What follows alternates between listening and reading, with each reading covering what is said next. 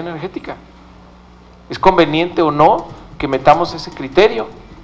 ¿Es un discurso viejo? ¿Es una visión de los 70 o es algo que hacen todos los países al considerar el sector energético no como un sector más, no como vender manzanas o plátanos, sino como un sector estratégico para la seguridad nacional y, por supuesto, para toda la actividad económica de un país. Es lo que queremos discutir el día de hoy. Quiero ofrecerles a todos una disculpa por el, por el retraso con el que estamos iniciando esta mesa, especialmente a ustedes que nos acompañan, a nuestros eh, ponentes. Tenemos un panel de lujo y estamos muy contentos que hayan atendido a nuestra invitación porque vamos a tener visiones eh, diferentes y estoy seguro que vamos a tener una reflexión muy importante. Vamos a, eh, y voy a ir presentando a nuestros ponentes conforme les vaya tocando eh, su participación. Si quieren, empezamos del centro este, hacia afuera y este, empezamos por, por la derecha. Quiero darles la bienvenida, muchas gracias por estar aquí. Carlos Fluvio, muchas gracias por estar aquí, ingeniero nos da muchísimo gusto que nos acompañe el día de hoy. Bueno, entonces vamos a empezar. Les presento a Benjamín Torres Barrón. Benjamín Torres Barrón es socio líder de Baker McKenzie de práctica de energía, minería e infraestructura de las oficinas en México. Él es licenciado en Derecho por el Tecnológico de Monterrey y cuenta con un, una maestría en Georgetown University, además de un diplomado en distribución de poder y generación de negocios por la Universidad Corporativa Unión Fenosa. Benjamín está incluido en la lista de abogados de México recomendados para petróleo, gas y financiamiento de proyectos en México por la publicación Who's Who Legal ah, y ha sido nombrado por Chambers Latin America como uno de los abogados líderes de la práctica de energía y recursos naturales. Ha sido reconocido durante varios años por la revista Petróleo y Energía como uno de los 100 líderes en la industria energética en México. Encabeza el subcomité de electricidad, gas natural y energía renovable de la Cámara de Comercio de Estados Unidos en México y participa en el Consejo Editorial de Asuntos Energéticos en el periódico Reforma y en la publicación Petróleo y Energía. Pues vamos a tener la visión del sector eh, privado de, eh, de si deberíamos tomar esta perspectiva o no, cómo ven el mercado de los combustibles. En fin, adelante Benjamín, muchas gracias. Senador Delgado, muchas gracias por eh, la amable invitación que, nos hicieron para, estar esta, esta, tarde con ustedes. Eh, como bien dices, me parece que puede ser un panel eh, muy enriquecedor, derivado de las distintas perspectivas, visiones, que a final de cuentas pues lo que pretenden es integrar una, misma estrategia para atender pues, todos los temas que que hoy por hoy eh, pues adolecen en, el sector energético y que eh, pues debemos de, reconocer que, al final del día pues hemos quedado sujetos a, una, a un proceso de reforma eh, y un cambio tan dramático a, nivel estrictamente regulatorio que pues existe una curva de aprendizaje en todos, ¿no? Este, justo ahorita pues hablábamos previo al entrar a este panel que pues que ya se terminó la época de los expertos y de esa persona que lo sabía todo y lo conocía en el sector energético. Hay cambios tan radicales y tan fundamentales que se requiere de un tiempo para poder entenderlos y para poder implementarlos debidamente. Eh, todos los días están eh, eh, circulando, se están liberando una serie de documentos o instrumentos de, carácter regulatorio que están matizando eh, el ambiente de inversión en, el sector energético en México. Y pues sin duda para mí es un gran placer eh, eh, compartir este panel con viejos amigos y con otros nuevos que acabo de hacer y que seguramente pues cada uno de nosotros podemos tener distintas perspectivas, pero a final de cuentas lo que nos interesa es lo mejor para México. Y por eso este, creo que debemos de platicar y dialogar en un sentido propositivo para poder entender pues cada una de las perspectivas y necesidades que tiene el sector. Eh, quisiera yo, antes de comenzar eh, la presentación que voy a hacer, es, comentarles, comentarles, un poco que eh, mi charla va en un sentido eminentemente regulatorio, como abogado que soy, de tal manera que creo que permite el, el ámbito de la discusión entender cuál es la plataforma de carácter regulatorio nuevamente que establece el esquema de inversión en materia de combustibles en México. Y ya a partir de ahí, bueno, pues podemos tener una serie de reflexiones que eh, pueden incluso ya ser el punto de partida para el resto de las discusiones, donde ya todos entendamos un poco eh, cuáles son las reglas del juego, ¿no? Y entendiendo las reglas del juego, creo que también incluso la audiencia puede seguir un poquito más eh, de cerca los temas que, que se van a discutir. Eh, quiero aclarar también eh, que la visión y los, los, comentarios que yo les voy a compartir no representan en ningún momento eh, pues la visión o, la postura que tiene la institución donde laboro los organismos que encabezo o bien incluso las eh, empresas o clientes que yo represento, sino es solamente a título personal, individual, como una persona que ha venido trabajando en el sector durante muchos años y que eh, pues desde luego entiendo las áreas de oportunidades que, que, representa nuestra reforma energética y desde luego pues eh, el punto de vulnerabilidad que tenemos en tema de almacenamiento estratégico de combustibles, como mencionaba, senador. Entonces, sin mayor preámbulo, voy a empezar con, algunos, con algunas ideas, algunos matices que pueden seguir en la presentación que preparé y, y a partir de ahí pues podemos, eh, eh, digo, empezar la, la discusión. Siguiente, por favor. Bueno, yo creo que hay que entender la plataforma regulatoria que hemos venido sufriendo en el ámbito de combustibles. Y creo que hay tres avenidas de cambio muy importantes que eh, la ley de hidrocarburos establece y su reglamento para los, los combustibles. A partir de 2015 hemos visto un proceso de transformación donde, este, pues en principio, Pemex era el único importador de combustibles en México y a partir de, este desfase que hemos venido sufriendo eh, en el esquema regulatorio, ya Pemex deja de ser el único importador y eh, a partir de eh, abril del año pasado se permite ya la importación de combustibles de gasolina, diésel, entre otros, de una manera libre por cualquier persona, sea este, una, una, persona física, una persona moral, sea un extranjero o sea un inversionista local. Por otro lado, también hay que reconocer que eh, el esquema de franquicias, el esquema del expendio al público que tradicionalmente conocíamos, donde las estaciones de servicio eh, de, a través de Pemex eran las únicas que podían operar, también se libera a través de este desfase que pueden ver en la presentación y ahora este, pues ya se permite, previo un permiso por parte de la Comisión Reguladora de Energía, invertir en estos, eh, eh, en estos esquemas de, de, de, negocio. ¿no?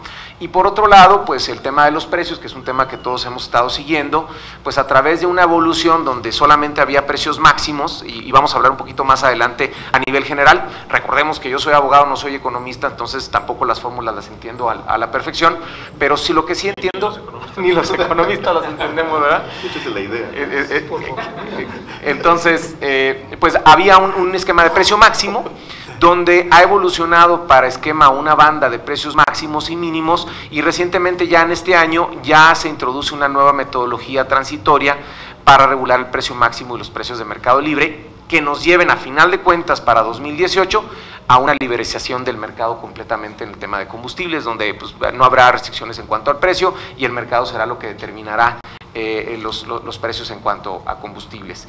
¿Qué, ¿Qué, podemos reconocer? Bueno, la inversión privada se permite, sea, sea local o sea extranjera, ya en toda la cadena de, del negocio eh, de petrolíferos.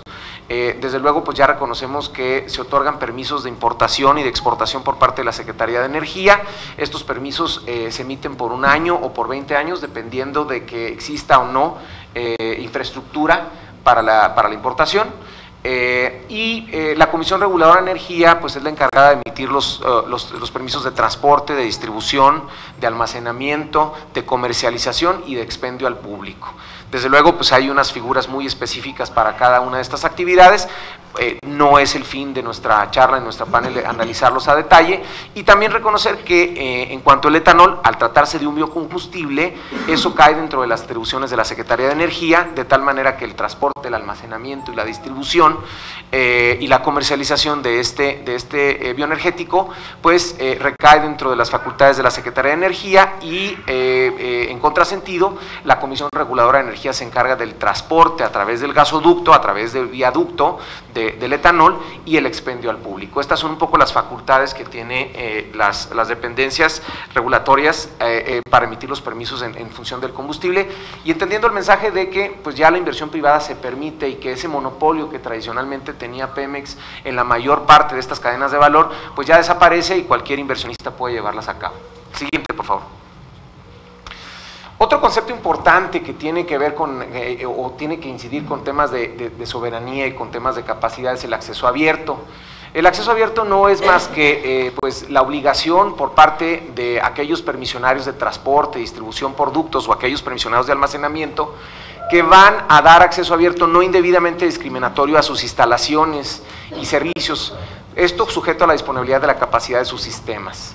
Esto puede ser en base, firme o en base eh, eh, de uso común. La base firme es cuando se garantiza eh, en todo momento la disponibilidad de la capacidad en su sistema respectivo para recibir la prestación del sistema, del, servicio, y en cambio en el uso común es cuando, quedando capacidad disponible, pues ese contrato se otorga en una base interrumpible, quiere decir que pues se va a recibir el combustible o el energético o el producto, la molécula, como le quieran llamar ustedes, en el sujeto a la disponibilidad dentro del sistema, ya sea el sistema de almacenamiento o el sistema de transporte por ducto.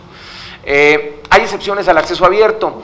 Tanto el transporte como el almacenamiento para usos propios, pues permiten que cuando yo justifico y construyo un sistema, ya sea de transporte o almacenamiento, solamente para mi propio consumo, puedo eh, eh, eh, pues no permitir el acceso abierto porque naturalmente todo mi sistema está utilizado, está siendo utilizado para mi autoconsumo, de tal manera que esas son algunas de las excepciones por las que los permisionarios no quedarían regulatoriamente hablando sujetos al acceso abierto. Hay que reconocer el principio de que debe de ser no indebidamente discriminatorio y con esto debemos decir es que yo no le puedo, si estoy obligado al acceso abierto, no se lo puedo dar a fulanito y, y, sí a Perenganito, ¿no? Eh, eso, eso yo tengo que tener unos criterios objetivos para reconocer de alguna manera eh, por qué una persona recibe el acceso abierto y la otra no, sujeto a la disponibilidad y capacidad de mi sistema. La siguiente, por favor. Pues las temporadas abiertas son estos procesos, eh, a grosso modo, donde cuando existe capacidad disponible de una forma permanente en un sistema, el permisionario tendrá la obligación de llevar a cabo una temporada abierta hay una serie de supuestos, que es cuando se está construyendo un nuevo sistema, cuando se está expandiendo el sistema, cuando ya habiendo capacidad existente, pues hay eh, eh, capacidad disponible porque no está reservada por otros o porque no está comprometida. A final de cuentas, esta temporada abierta tiene que hacerse mediante un proceso transparente, eh, transparente, entendámoslo como una licitación, en la que eh, las personas interesadas en accesar o en tener disponibilidad de ese sistema van a competir, van a pujar para poder obtener una, ah, condiciones favorables en esa, en, esa, en esa temporada abierta. El siguiente, por favor. Hablando de temporadas abiertas, pues estamos viviendo ahorita una temporada abierta importante en la que Petróleos Mexicanos, a través de, su subsidiaria, empresa productiva asociada Pemex Logística, ya se encuentra llevando a cabo un proceso de temporada abierta para la zona de Rosarito y de Guaymas y eh, también está otorgando la capacidad de transporte relacionada con esos sistemas. Eh, ahí vienen en mi presentación las fechas y algunas de las empresas que están participando activamente en esta temporada abierta. A final de cuentas, próximamente vamos a ver ya ah, la adjudicación de esta temporada y, básicamente es el principio que yo les platicaba ahorita, es otorgar la capacidad que se encuentra disponibles en esos sistemas que, Pemex tiene para permitirle a terceros ah, eh, que puedan utilizarla debidamente e incrementar eh, el intercambio de combustibles en, esta, en este territorio. La siguiente, por favor. Otro tema también que tiene incidentes sobre, sobre el tema, sobre la, parte de combustibles, es que eh, pues el año pasado, eh, por ahí de agosto del 2016, se aprueba y se publica ya eh, la norma 016, que contiene las especificaciones de calidad de los petrolíferos, o sea, los combustibles.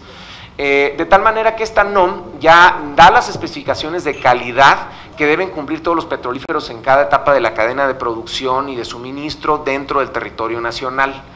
Y por ende se convierte obligatoria para el productor, para el distribuidor, para el almacenista, el transportista, todos estos permisionarios que yo les describía eh, justo antes en mi primer slide. Y uno de los temas y reflexiones importantes, y esto, esto es algo que, que nos va a dar para discusión, es que la NOM elevó el criterio o el estándar de calidad de los petrolíferos respecto a su versión anterior, la NOM que teníamos aplicable anteriormente para combustibles. ¿Y esto en qué se traduce? Que en muchas de las ah, plantas de refinación que tenemos hoy operando en, México, no llegan a cumplir con los estándares eh, eh, que, han se han elevado a través de la norma oficial mexicana y entonces la producción que estas refinerías eh, están llevando a cabo pues no cumplen con las especificaciones requeridas en la NOM y por ende o requieren de una reconfiguración o se requiere de, refinación, de, procesos de refinación o plantas o centrales de refinación nuevas que estén de acuerdo y que puedan cumplir con estos criterios que establece la NOM. La siguiente, por favor. Podemos hablar un poco del IEPS. Eh, realmente es un tema muy sofisticado, como, como, coincidíamos el senador y yo, pero a lo mejor para darles a entender lo que, eh, lo que operaba la, política recaudatoria del IEPS hace algunos años, pues los gráficos que pueden ver creo que lo, lo muestra muy claramente el alto impacto que tenía el valor eh, del precio o, el valor de, del, hidrocarburo, del petróleo, en el, impacto del IEPS en nuestro país. ¿No? Eh, el primer gráfico va a mostrar el desempeño que tenía el IEPS durante esos periodos y van a ver cómo se refleja eh, eh, en, el incremento de los precios de hidrocarburo. Cuando los precios internacionales aumentaban, el IEPS se reducía, servía como, una, un buffer, como, como un amortiguador en cuanto a los precios y por contrario sentido, en cuanto los precios del petróleo disminuyeron, el IEPS se recuperaba y aumentaba. Lo pueden ver incluso con, el vector y con, el impacto directo que sufre eh, el precio del hidrocarburo sobre el IEPS. Y entonces lo que podemos concluir es que el IEPS actúa como una especie de subsidio para controlar los precios de la gasolina y el diésel doméstico cuando los precios internacionales del petróleo aumentan. ¿no? Esto ya no aplica y era la política recaudatoria que, se sufría en cuanto al, al IEPS. El siguiente nos va a mostrar en términos generales dónde estamos en la situación eh, al día de hoy. Por favor, el siguiente. Y, bueno, ahorita ya tenemos eh, eh, dos IEPS en la importación y tres en la enajenación. Es, un poco complejo, pero eh, podemos determinar que las personas morales y personas físicas que son contribuyentes, o sea, es decir, aquellas que tienen que presentar declaraciones para efectos del IEPS, son aquellos que llevan a cabo la importación de la molécula, o ya sea del producto, o bien aquellos productores del, producto, aquellos también que, están produciendo el combustible, eh, son sujetos contribuyentes para efectos del IEPS. Eh, el IEPS y la gasolina se activa mediante la importación y enajenación, como les mencionaba, y en la importación les mencionaba que había dos. Eh, uno de ellos es un IEPS como tal, puro, y el otro es lo que le conocen como el impuesto al carbono, que a final de cuentas, conforme a la ley, se considera un IEPS y son los dos elementos que se aplican a la hora de importar un combustible. Al momento de la importación se aplica. Ahora, ese IEPS se acredita en el momento de su enajenación. ¿Qué pasa? Que aquel que lo importa, ¿sí? Lo va, lo va a pagar, pero lo va a cobrar en el momento que lo enajena, ya sea el consumidor final o el comercializador de, del combustible, y tendrá la obligación de remitir únicamente la diferencia ante la autoridad fiscal. ¿no? funciona un poco como el IVA, donde se acredita y, este, tú, tú, acreditas el IVA que pagas contra el que cobras. ¿no? Eh, en, cuanto a la enajenación, ya existen tres IEPS, dos IEPS de naturaleza similar, que están separados y el impuesto al carbono, y esos tres IEPS específicos se activan en el momento que la venta se cobra al cliente. ¿no? Esa es una de las partes que tenemos que recordar. Eh, a final de cuentas, el consumidor final lo paga, pero lo paga como el precio del producto, no está pagando el IEPS como tal, sino como ya el IEPS lleva inmerso eh, va inmerso en el precio del combustible, pues simplemente es un valor de mercado que tienes tú que pagar, pero ya no tienes la obligación ni de enterarlo, ni declararlo, etcétera. Realmente los contribuyentes para efectos fiscales son solamente los importadores y los productores, esa es la diferencia. El que sigue, por favor. Esto es un poco, esto es muy muy relevante para el tema de, la, de mi presentación y quisiera, quisiera mucho, hacer mucha atención y, esto nos va a llevar a muchas reflexiones dentro del grupo. Ya lo mencionaba el senador y estamos completamente de acuerdo. Analicemos los números de producción, importación y consumo de combustibles publicados por eh, la Secretaría de Energía a través del Sistema de Información Energética. Eh, estos son precios de enero o números o cifras de enero. Eh, primero que nada, la producción de gasolina en, cuanto a barriles, eh, estamos hablando de 304 mil y fracción, 305 mil. La producción de diésel habla de 160 mil. Eh, y en cambio la importación de gasolina tiene un número de 511 mil y la importación de diésel de 236 mil. El consumo doméstico tenemos en gasolinas 816 mil aproximadamente y el consumo de diésel de 396 mil aproximadamente. ¿Qué pasa y qué nos lleva a, confirmar el criterio que mencionaba el, senador? Que de la demanda eh, de gasolina en México, el consumo doméstico que tenemos en el país, hablando del mes de enero propiamente, conforme al sistema de información energética, el 62.69 aproximadamente es producto importado en gasolina. O sea, de lo que consumimos en el país, el 63% aproximadamente eh, proviene de, la importación del combustible. En diésel es ligeramente más bajo, pero lo que reflejan estos números es que eh, tenemos un 59.70% de producto importado. ¿no? Estas unidades otra vez son miles de barriles diarios. Insisto, eh, son números eh, presentados por el Sistema de Información Energética a enero de 2017, carácter mensual. El que sigue, por favor. Este otro tema también es muy relevante y, confirma lo que el senador también nos mencionaba. México eh, solo tiene capacidad para almacenar gasolinas por dos o tres días ya que solo cuentan con 89 terminales de almacenamiento y aproximadamente 9.000 kilómetros de ductos, lo que equivale a un 7% de la capacidad recomendada internacionalmente. En comparación con países desarrollados, veamos lo que tiene Estados Unidos. Estados Unidos tiene hasta 90 días de abasto y esto lo tiene por ley, eh, conforme al Energy Policy and Conservation Act. Eh, países como Francia o Japón incluso andan más o menos por ahí en la línea. Francia tiene casi 100 días de almacenamiento y Japón tiene 70 eh, de almacenamiento en combustibles. De tal manera pues que sí nos estamos quedando significativamente cortos en el tema de almacenamiento de combustible. La que sigue, por favor. Algunas reflexiones finales que les quiero yo compartir. Eh, obviamente eh, reconocemos la curva de aprendizaje eh, dentro de la reforma energética, ha sido un cambio muy dramático. Creo que también es nuestro deber como ciudadanos y como mexicanos eh, hacer eh, eh, pues, señalamientos propositivos, porque pues, todos los procesos de reforma tan, tan drásticos, no solamente en México, sino en todos los países, tienen esa curva de aprendizaje. Y esa curva de aprendizaje, hablaba yo anteriormente que no hay expertos, esto, esto es una novedad para todos. Este, incluso para las autoridades, incluso para los que están a cargo de dictaminar la política regulatoria, incluso para los legisladores. Y creo que es deber de todos nosotros tener este tipo de diálogos para enriquecer y ver los puntos de vista y las necesidades que tiene el sector. Eh, desde luego que eh, pues es imposible eh, y tenemos que ser muy empáticos en el sentido de que pues hay áreas de oportunidad en, la reforma, este, obviamente los principios eh, eh, como el del acceso abierto, por ejemplo, me parece que son principios muy transparentes, que favorecen la, competencia efectiva, que, tienen un espíritu eh, este, de libre competencia muy loable.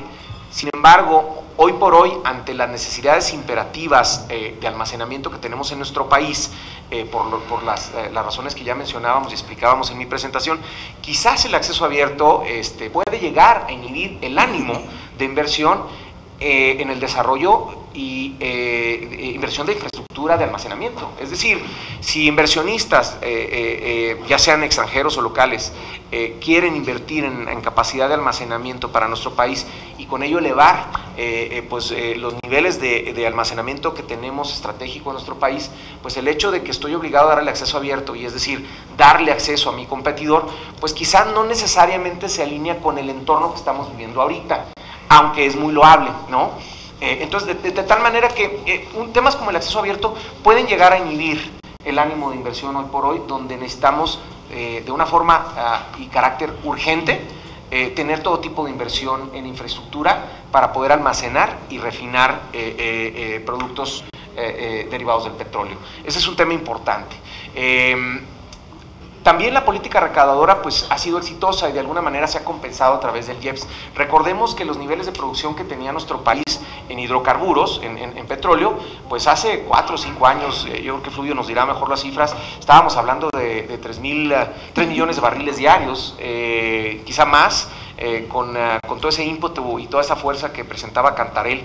Pero hoy por hoy, 3.4. De tal manera que hoy por hoy Cantarel eh, pues, eh, está sufriendo una clara y objetiva declinación en su producción y recordemos que gran parte de la política recaudatoria de nuestro país pues dependía de la producción del hidrocarburo y su consecuente exportación. Hoy por hoy ya no tenemos eso, ya ahorita estamos por debajo de los dos de los 2 millones de barriles diarios y por ende, pues a veces el IEPS, recaudatoriamente hablando, ha venido a sustituir o ha venido a, complementar el déficit recaudatorio que nuestro país tenía. Em, eso es en cuanto a política fiscal.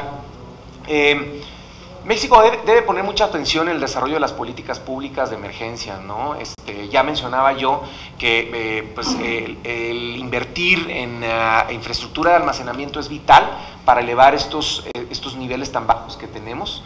Eh, y que pues si estamos eh, atendiendo el acceso abierto no va a ser un tema que hoy por hoy va a favorecer esta inversión. Otros temas que tampoco favorecen es la tenencia de la tierra, a veces el tema de los derechos de vía es muy complicado, a veces los largos procesos de permisos o de evaluación eh, de impacto social son temas que incluso a veces pueden llegar a politizarse y que no ayudan a tender un ámbito certero y amigable de inversión para tener esa infraestructura. Creo que es bien importante, eh, y lo comentaba anteriormente, en eh, seguir atendiendo eh, la capacidad de, refinación, ya sea invirtiendo en reconfiguración de, las, de las centrales de refinación que tenemos hoy por hoy, o invertir en unas nuevas. Pero lo que también los invito a reflexionar es que estas inversiones son de carácter millonario y que toman tiempo. quizás algunos años eh, y sobre todo pues con el régimen de permisos que tenemos hoy y los problemas de, tenencia de tierra que ya mencionaba, eh, etcétera, etcétera, y quizás no van a solucionar, al menos en el corto plazo, la capacidad de almacenamiento que nuestro país requiere. Y por ende a lo que voy eh, es que requerimos soluciones más inmediatas, más reales de almacenamiento, y eso es a través de otorgar nuevos permisos de almacenamiento, nuevos permisos de distribución que permitan incrementar esta capacidad. Este, y que estos relativamente se pueden implementar de una forma, eh, y me parece, en un proceso mucho más corto o relativamente corto que toda una central de refinación desde el punto de vista técnico. Entonces, son algunas de mis reflexiones. Desde luego, eh, hay mucho que platicar y, resumir lo que ha pasado en estos tres años en torno a la reforma energética, pues es, es, es, muy retador, pero creo que eh, pues les comparto algunas reflexiones exclusivamente desde el punto de vista regulatorio y de inversión privada. Gracias, ¿no? Gracias, Benjamín, muy clara tu exposición, muchas gracias. Vamos a darle la palabra, ay, yo me quedé con, una duda, se los, si me permites, Benjamín, al final, eh, nada más para precisar algunos datos de tu, de, algunos eh, conceptos de tu exposición y entender mejor. Eh, quiero presentar al ingeniero Francisco Garay Cochea Petrirena.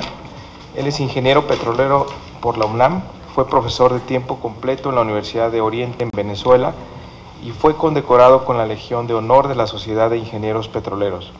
Actualmente es el presidente del Grupo Ingenieros Pemex Constitución del 17, la asociación mexicana con mayor prestigio en materia de energía en nuestro país.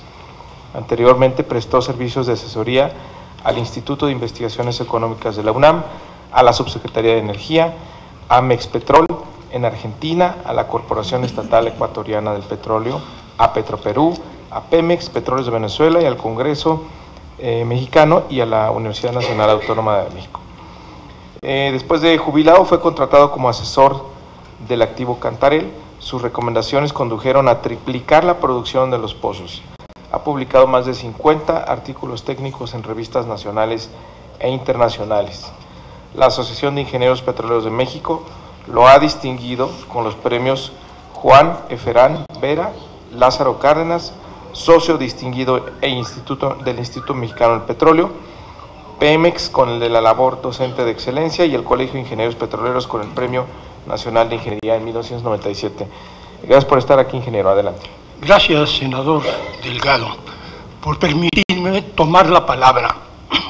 La siguiente, miren, allí está mi correo por si alguno se interesa. yo le puedo mandar mi presentación y si tienen alguna duda o discusión sobre alguno de los temas, trataré de aclararlo. La siguiente, por favor. Bueno, el tema es soberanía energética. Soberanía es, tiene como sinónimos independencia, libertad, autonomía, emancipación. ¿Pemes tiene estos? Pues no, el único país que ha logrado soberanía energética en México es China, porque ganó en los bloques licitados en aguas profundas dos de los eh, diez que se concesionaban y asume totalmente riesgo, va sola. Y esto indica además que posee toda la tecnología. Eso, señores, eso es soberanía energética. México fue soberano en energía desde 1938 hasta que se otorgaron en 2003, siendo presidente de la República Vicente Fox, los anticonstitucionales contratos de servicios múltiples. Raúl Muñoz Leos era el director de petróleos. A continuación vamos a ver que no es rentable extraer petróleo, hidrocarburos en aguas profundas. Y cómo China ejerce su soberanía, a pesar de que no es rentable, ganando estas concesiones en dos lotes. La siguiente, por favor. Miren, aquí se muestra lo que se conoce como los precios de equilibrio, o sea, break-evens price, que son los precios requeridos para hacer rentable la explotación de hidrocarburos en aguas profundas, o sea, digamos el barril de petróleo crudo equivalente. En el Golfo de México son mayores de 60 dólares por barril.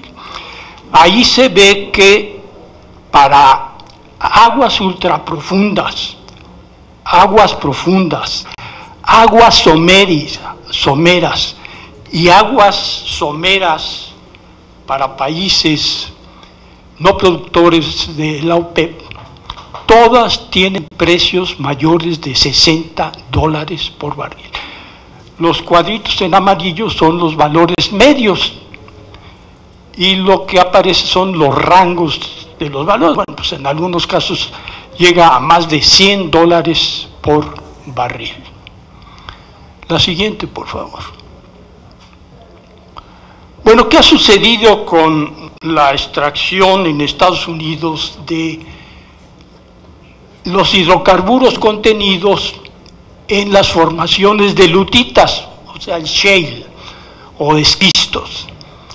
Aquí se ve cómo la recuperación final está aquí eh, señalada en aceite ligero y gas rico en condensados, cómo ha ido incrementándose a partir de 2013 hasta el año actual la recuperación de hidrocarburos por unidad de producción.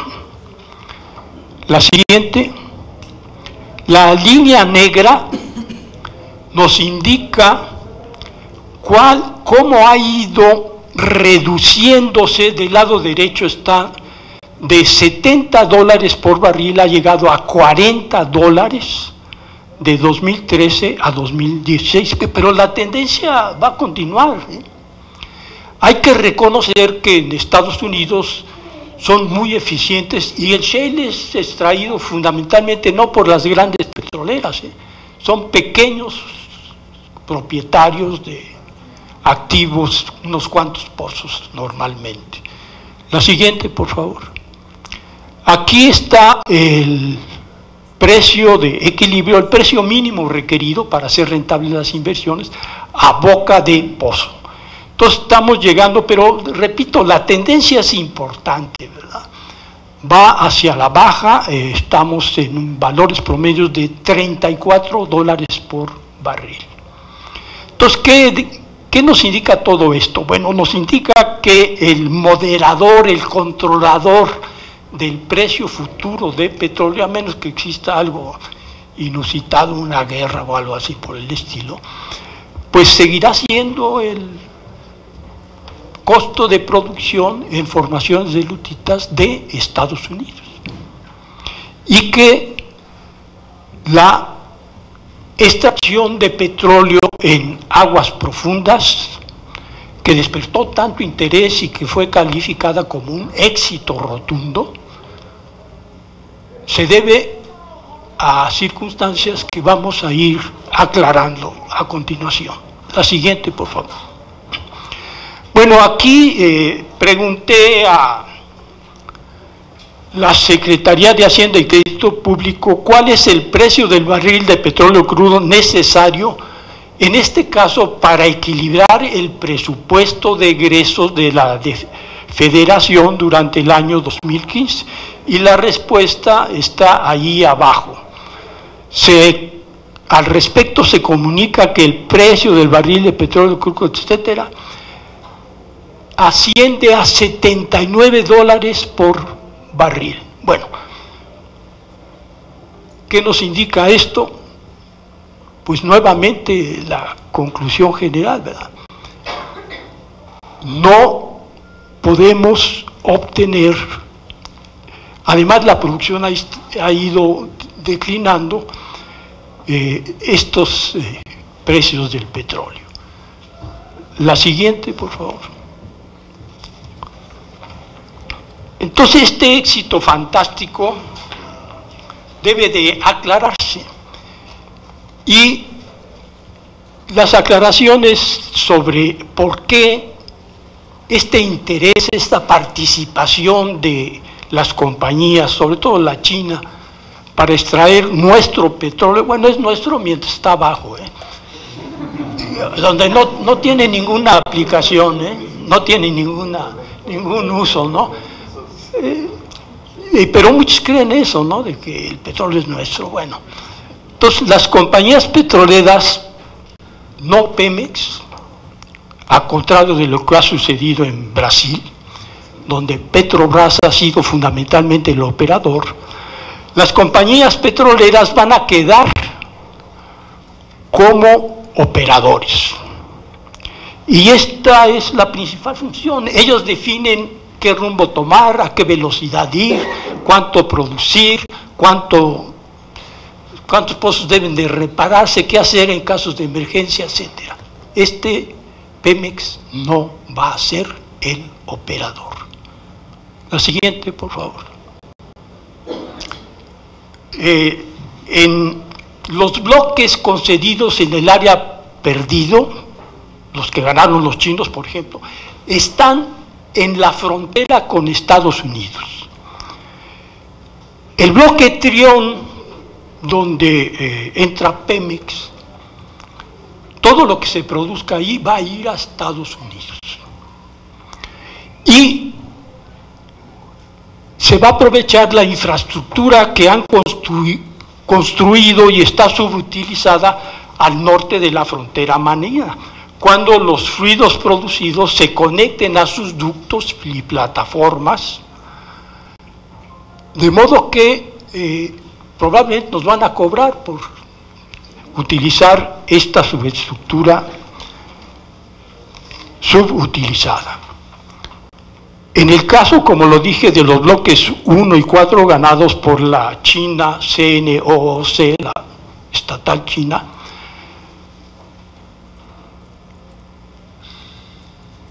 se están vengando, digamos, o tomando la revancha de lo que sucedió cuando el Senado de la República norteamericano impidió que compraran la compañía Unocal que salió a la venta en el año 2005. Entonces allí quedó al descubierto que los americanos nos han vendido, publican que estamos en un sistema globalizado en el que hay que competir, hay, debe de haber libre mercado. Pues no, nada de eso, señores. Ahí quedó demostrado que ellos no iban a permitir tener a los chinos allí en su territorio por razones de seguridad nacional.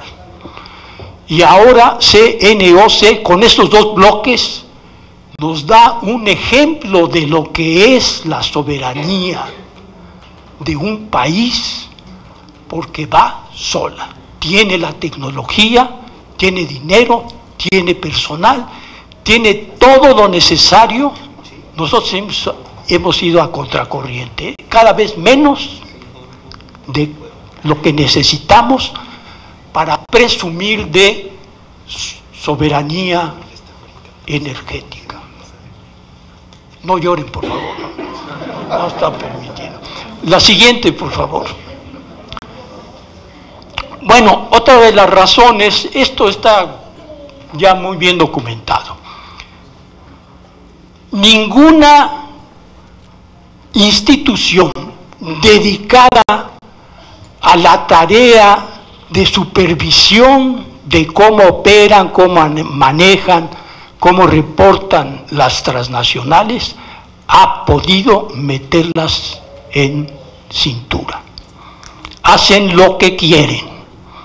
Ejemplos. Bueno, pues ¿qué pasó con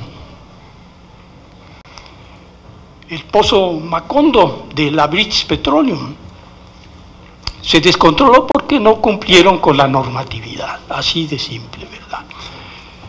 Y eh, Pemex se asocia con Billington, una compañía responsable de el derrame en una presa que contenía desechos mineros y provocó la muerte de 19 personas y decenas de desplazados en 2015. Ahí está la referencia. La siguiente, por favor. ¿Dónde está entonces el negocio?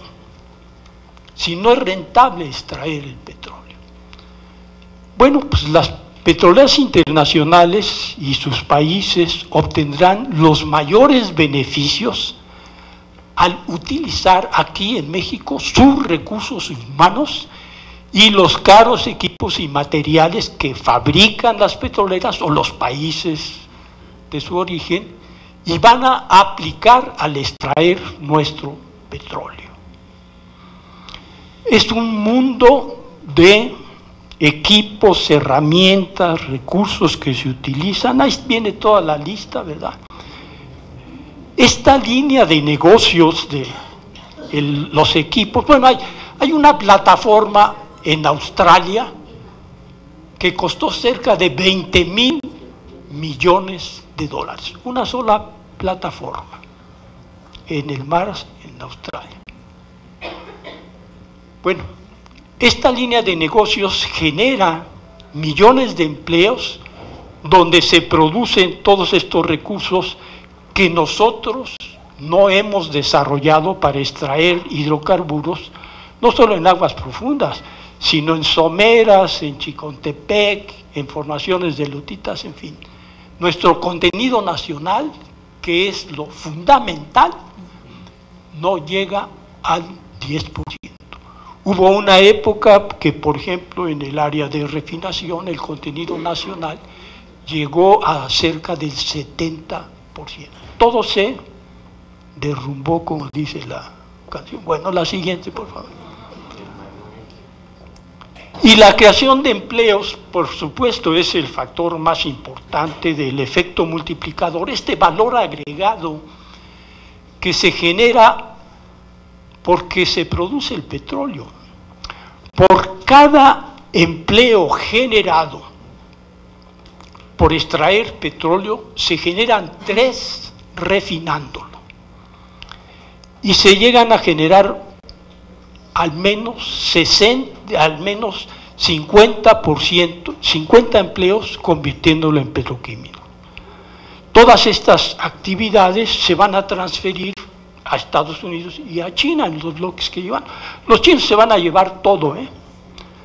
No van a dejar aquí en México ni transferir a Estados Unidos un solo barril de petróleo ni un pie cúbico de gas. La siguiente, por favor.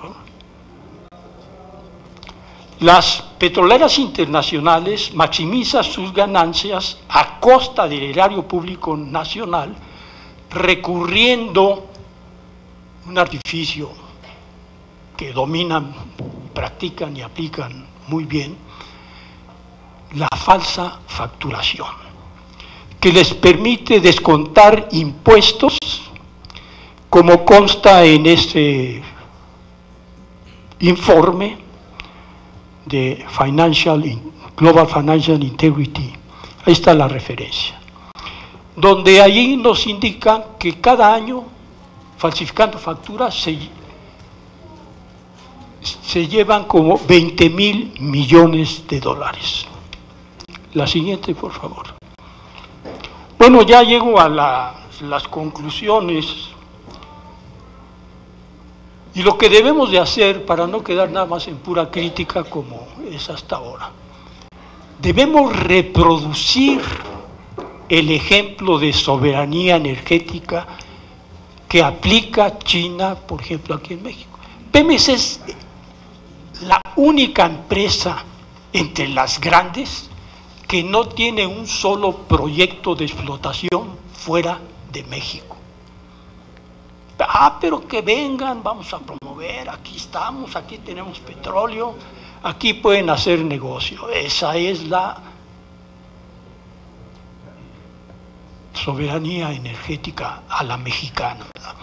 Dos, se recomienda difundir esta información. Yo creo que muchos de ustedes ahora se están enterando de esto, porque los medios están controlados maiceados, les dicen. Bueno.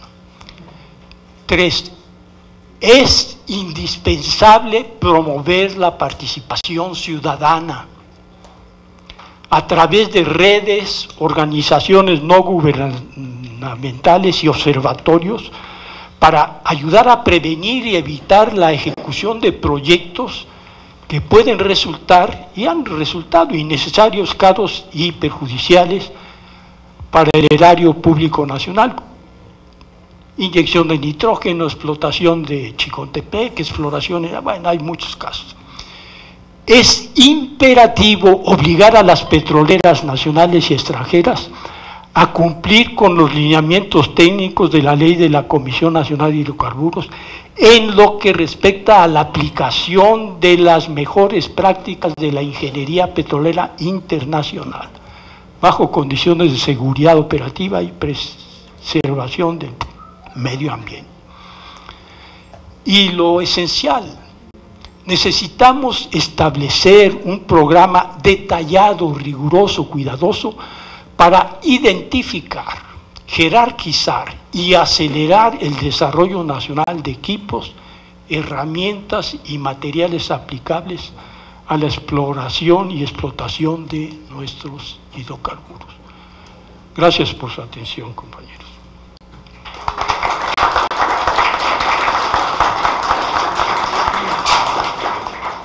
Muchas gracias. Ingeniero, le vamos a pedir que nos deje su presentación para atender el punto 2 de, difundir esta información tan valiosa. Muchas gracias. Eh, quiero darle la bienvenida y presentar al doctor Sergio Benito Osorio Romero. Él es licenciado en Economía por el Instituto Politécnico Nacional, maestro en Economía y Política Internacional por el CIDE, también es maestro en Derecho Económico por la UNAM, en donde obtuvo la medalla al mérito académico y sus estudios de doctorado los realizó en Ciencias Económicas en la Universidad de París. Es miembro del Consejo Consultivo de la Fundación por la Democracia y también es miembro del Observatorio Ciudadano de la Energía, entre otros. También se ha desempeñado como consejero regional de México para Asuntos Agropecuarios en Europa. Ha sido profesor de tiempo completo en el Tecnológico de Monterrey, diputado federal y presidente de la Comisión de Energéticos. Ahí nos conocimos hace ya algunos años, ¿verdad, doctor? Y asesor en materia de política energética en el Senado de la República. Tiene muchas publicaciones. Eh, Sergio cuenta con diversas, eh, como en Economía Mexicana, Energía Debate, Voces de México y en el diario el Universal y La Jornada. Es coautor de libros como Hacia la integración de los mercados petroleros en América, Reforma energética y desarrollo industrial y los riesgos de una reforma apresurada. Muchas gracias, eh, Sergio Benito, por estar con nosotros. Gracias. Gracias. Eh, bueno, en principio, eh, agradecerle al senador Mario Delgado la invitación. Me parece que es una oportunidad eh, que yo aprecio mucho, sobre todo por eh, los colegas que están el día de hoy eh, con nosotros. Yo quisiera iniciar mi participación refiriéndome a tres asuntos que me parece que son importantes, sobre todo para contextualizar la situación que estamos viviendo. La, primer, la primera, el primer tema que es necesario traer aquí es que México, al tener un sistema de transporte que se ha ido retrasando de manera eh, pues yo diría prácticamente hasta o, por descuido o de manera deliberada, ha aumentado el parque vehicular eh, que consume gasolina de manera muy, muy importante. De allí que el crecimiento de esta demanda supera totalmente las posibilidades que ha tenido el país para autoabastecerse. La demanda de gasolina en el país supera tranquilamente el 6 o el 7%, es un crecimiento muy grande que eh, ni siquiera eh, si el país tuviera las posibilidades de construir dos refinerías pudiera abatirse este, este crecimiento tan importante. ¿A qué se debe? Se debe justamente a que se congelaron, yo diría, y en algunos casos, en algunos años, se redujeron los presupuestos para petróleos mexicanos y particularmente para Pemex Refinación, eh, bajo la idea de que lo más importante, como diría algún responsable de la política energética del país, lo más importante era monetizar los recursos que el país tenía en el subsuelo y eh, Luis Telles decía, ojalá y esto se logre a la, mayor velocidad posible. Y eh, eh, el país llegó a producir 3.4 millones de barriles por día, se acabó o se está terminando por esta política el yacimiento más grande que tuvo el país o que ha tenido el país, que es Cantarel, y simplemente por vender a la mayor velocidad posible el petróleo mexicano. Debemos de decir que hubo años en que Cantarel o el petróleo que se estuvo eh, obteniendo de la sonda de Campeche tuvo precios de 8 dólares, por ejemplo, el barril. Y aún así se estuvo aumentando la producción para fundamentalmente exportarlo y exportarlo hacia los Estados Unidos. Entonces, un tema que es central es este, el crecimiento de la demanda ha obligado a importar proporciones cada vez más altas de gasolinas que vienen justamente de los Estados Unidos. Eh, la contracción del presupuesto de petróleos mexicanos y particularmente de Pemex Refinación, pues ha llevado no solamente a no construir nuevas refinerías, que debió de haberse hecho ya desde hace algunos años, sino a tener una capacidad eh, no utilizada de las refinerías mexicanas debido justamente a problemas de mantenimiento importantes. Entonces, cuando nosotros estamos importando alrededor del, 40, del 50%, 55% de las gasolinas que necesita el país, pues evidentemente allí nos tendríamos que plantear si México realmente tiene soberanía desde el punto de vista del suministro de los combustibles que se utilizan. Y no solamente de gasolinas, que es, eh, digamos, uno de los productos fundamentales, sino también, por ejemplo, del gas licuado del petróleo, que se utiliza en la mayor parte de los hogares mexicanos, o del gas natural que se utiliza también para la generación de electricidad. Es decir, que México siendo un país que históricamente es petrolero en términos de una gran capacidad de recursos naturales, eh, es un país que importa cantidades muy grandes de combustibles y de otros productos que se requieren para tener funcionando su economía. Allí hay un problema de política energética, es decir, de un país que no ha sabido, que su gobierno ha sido incapaz para conducir una política que permitiera justamente tener coherencia entre la capacidad muy grande que tiene de recursos naturales y cubrir sus necesidades o de productos refinados o de combustibles que utiliza tanto la industria, el transporte o los hogares. Este es un, primer asunto. El otro asunto tiene que ver fundamentalmente con qué hemos hecho de esa riqueza económica que nos aportan los recursos naturales que tenemos. Eh, hace muy poco tiempo el barril de petróleo, seguramente ustedes recordarán, pues se podía vender en alrededor de 90 a 100 dólares el barril y el país tuvo excedentes petroleros extraordinarios, gigantescos, muy, muy grandes, pues. Y estos excedentes petroleros simplemente se metieron a el gasto no programable, a el gasto corriente de municipios, estados y por supuesto de la federación. El país debió de haber utilizado estos grandes recursos, pues, de manera inteligente para educación, para salud, para construcción de infraestructura, etcétera, para el desarrollo de su industria petrolera. Y no fue el caso. Esta es una situación que las próximas generaciones seguramente nos van a reclamar, porque no tuvimos esa capacidad como sociedad y por supuesto como gobierno.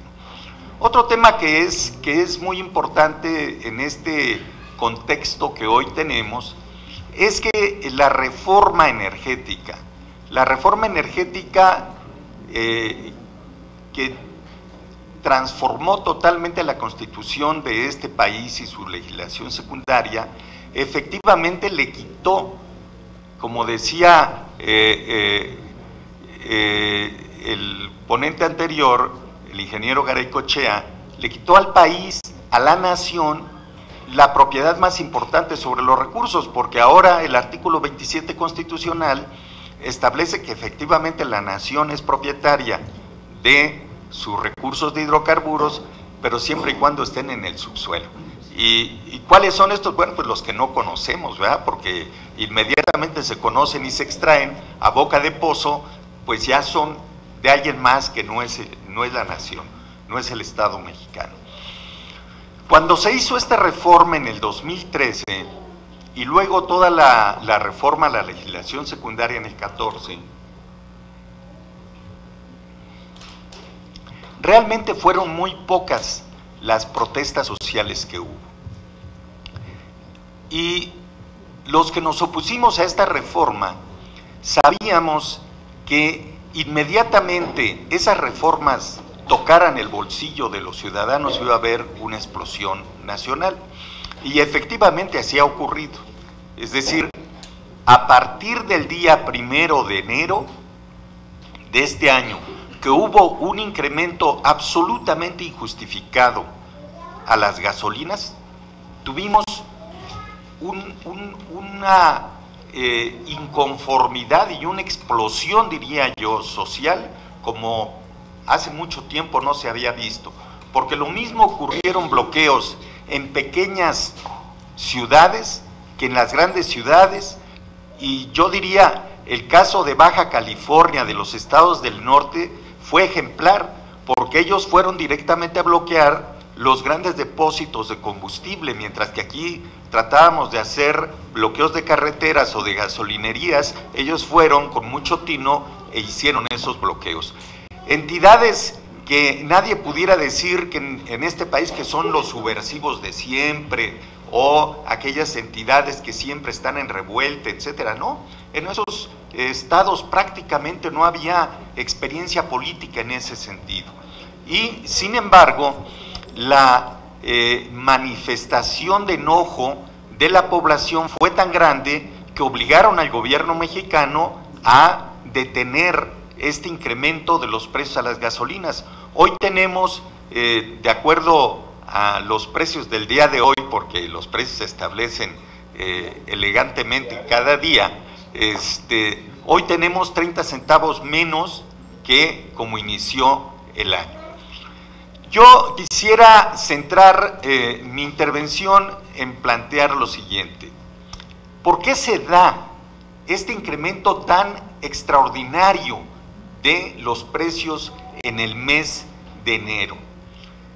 La propaganda oficial, y me llama la atención, y lo he estado planteando en otros lugares, la propaganda oficial señala, y el día de ayer el secretario de Desarrollo Social volvió a hacer una caricatura de esto, eh, señala que se incremente el precio de las gasolinas porque de lo contrario no habría prácticamente política social.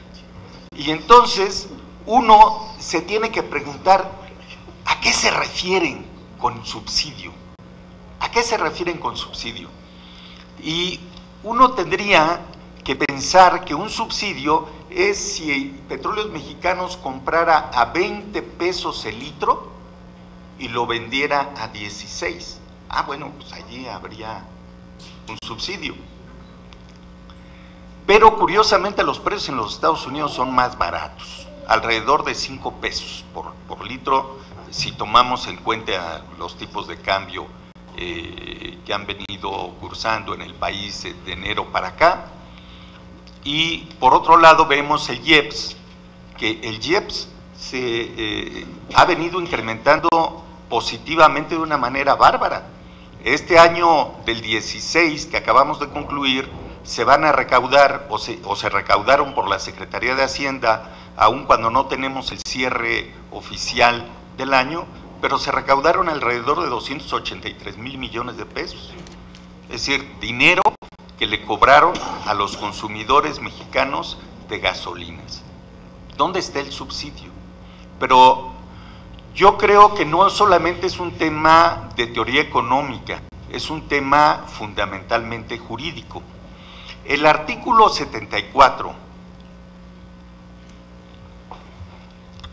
el artículo 74 de la ley de presupuesto, es una ley federal, establece todo un capítulo, la ley establece todo un capítulo para decir cómo deben de, de tratarse los subsidios. Y el artículo 74 dice que tiene que estar en el presupuesto, porque es un gasto. Y el artículo 75 señala que deben de ser transparentes y que deben de ser públicos. Entonces, si uno busca en el presupuesto, y yo les pido que ustedes busquen en el presupuesto por lo menos del 2015, 2016 y 2017, y ustedes no van a encontrar una partida de subsidios a la gasolina por dos, ¿cuánto dicen? Entre 200 y 210 mil millones de pesos. Es decir, allí hay un problema de carácter legal. ¿Dónde está el subsidio? Tanto el presidente Peña miente como el secretario de Energía y los demás secretarios que han salido a plantear el asunto mienten totalmente. Porque en el presupuesto los diputados federales no votaron un subsidio de 200 mil millones de pesos para las gasolinas. Sí hay un subsidio que se puede encontrar, es el subsidio a los combustibles para el campo. Pero ese subsidio llega alrededor de unos 16 mil millones de pesos y no tiene nada que ver con el subsidio generalizado que se pagan en las, eh, por todos los consumidores. Se dice, es que se incrementó el precio de las gasolinas para beneficiar a los más pobres. Eh, que, eso, que eso genera justamente el enojo y la rebeldía de la población en el país, porque eh, pues los más pobres utilizan microbús o utilizan transportes colectivos, donde en muchos lugares ya se incrementaron las tarifas, por más que en la Ciudad de México no se hayan incrementado. Y si tomamos en cuenta el peso de los transportes dentro de gasto que hacen las familias de menores ingresos, vamos a ver que han ido incrementándose de manera muy importante y ya llegan a ser alrededor de una cuarta parte del gasto total que tiene una persona que gana salario mínimo. Entonces, este es un tema muy importante. No es cierto, y quiero enfatizar, no es cierto que exista subsidio. No hay forma de probar legalmente que existe subsidio. Al contrario, es y sigue siendo un aumento injustificado y absolutamente abusivo de las autoridades hacendarias y del presidente de la República. Un, aumento que debe de ser rechazado y que deberíamos de exigir que no solamente las, los precios de las gasolinas, sino el precio del gas LP y de las tarifas eléctricas regresen por lo menos al nivel que, que se tuvo en, a finales del año pasado. Este es un tema, desde mi punto de vista, toral. Hay elementos que aquí son importantes a señalar.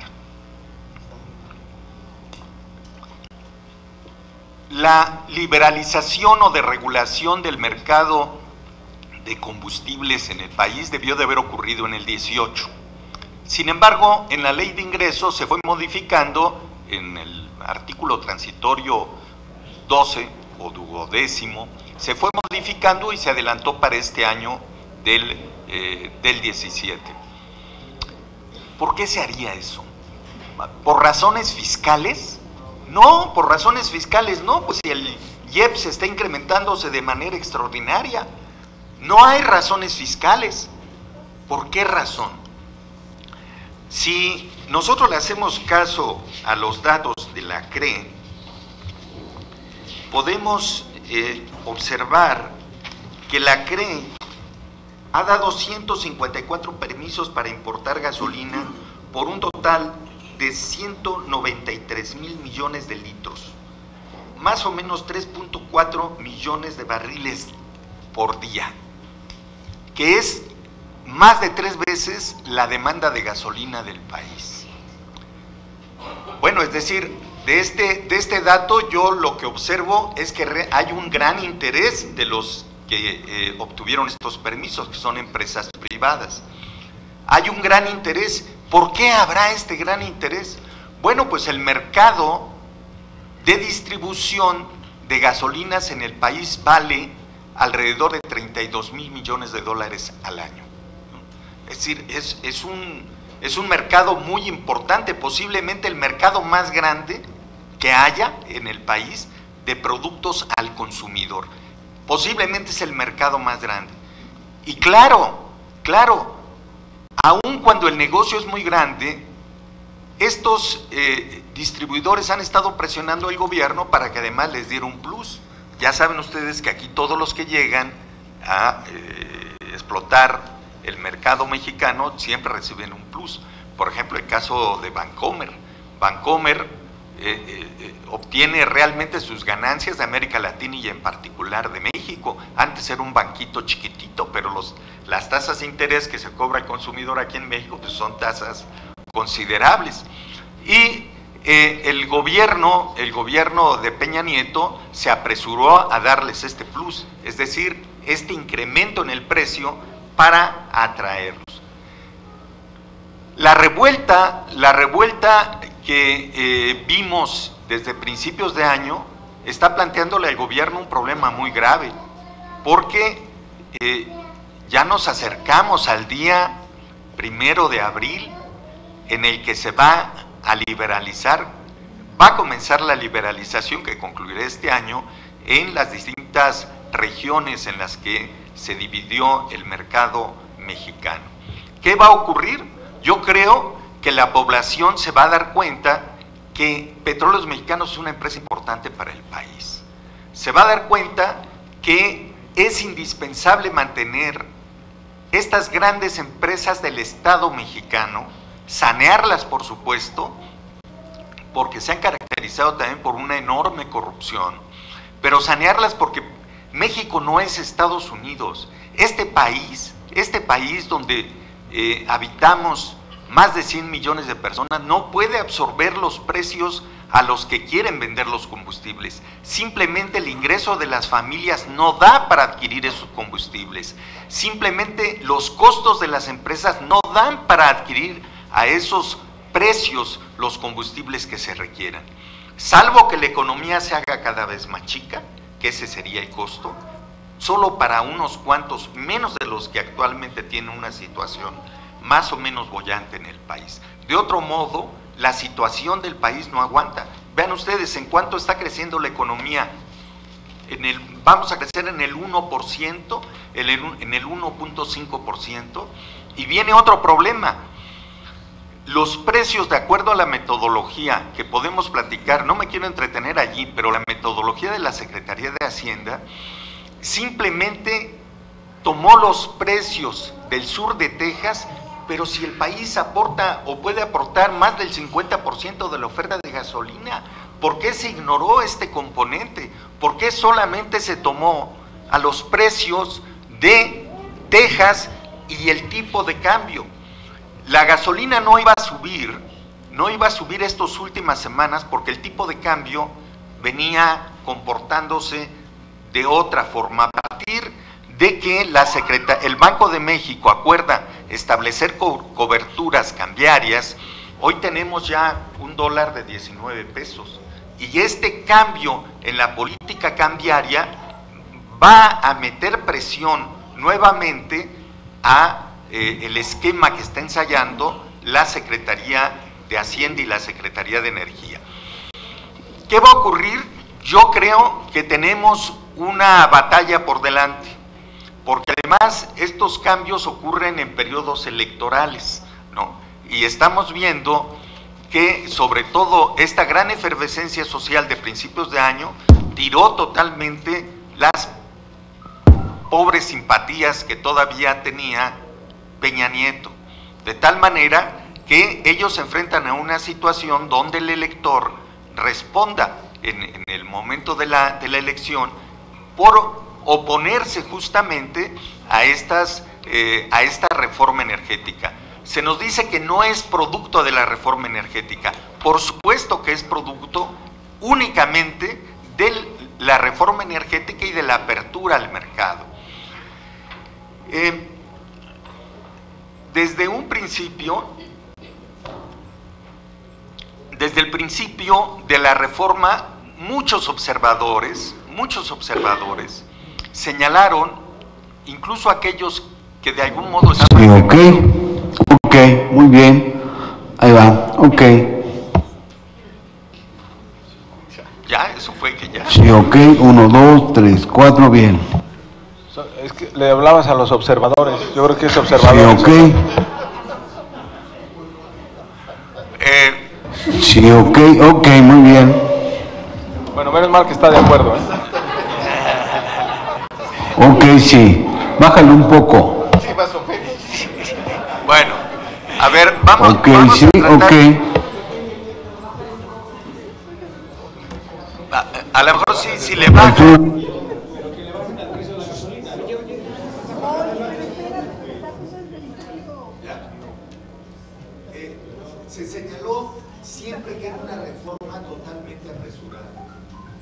Presidente ha señalado es que estamos y, se dice, se dice así, pero de manera totalmente impune. Sí, es que son los costos del aprendizaje de este país. Pero no puede ser, la economía familiar, ¿dónde queda? ¿Dónde? Los recursos, los recursos, la propiedad de la nación, ¿dónde queda? ¿Por qué estamos aprendiendo? Lo que ha pasado con las distintas licitaciones ha sido simplemente cada vez una negociación de regateo y de regalo de los recursos naturales del país a empresas que, como bien decía eh, Francisco, eh, hay, hay, un problema en el mercado petrolero internacional. ¿Por qué vienen? En mi opinión, vienen casi, casi como un negocio inmobiliario hacerse de, de los bloques de territorio nacional para que en el momento más adecuado, pues, se eh, hagan producir o no. Entonces, si vemos el caso concretamente de la, de, de la Asociación Última de Petróleos Mexicanos, bueno, pues vemos que es un contrato por 30 años y que puede irse prácticamente al doble, ¿no? Sobre uno de los recursos más prometedores del país. Entonces, yo eh, quiero, quiero concluir y decir que mm, el país justamente tiene empeñada la soberanía sobre sus recursos energéticos y su soberanía energética derivado de una pésima visión de país que tiene el equipo o el bloque en el poder, que está no solamente empeñando, sino está regalando los recursos del país y sobre todo un mercado, un mercado que en el caso de la gasolina es tan importante que permitiría a este país hacerse cargo de la ampliación de su capacidad de refinación en los próximos años. Muchas gracias.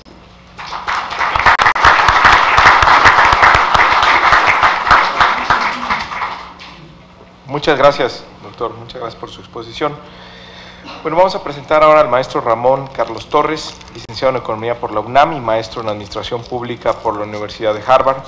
Ha sido director general de Energía y Actividades Extractivas de la Semarnat, coordinador ejecutivo de Planeación Petroquímica y gerente de promoción industrial en Pemex, director de promoción de proyectos y gerente de programación industrial en AFINSA.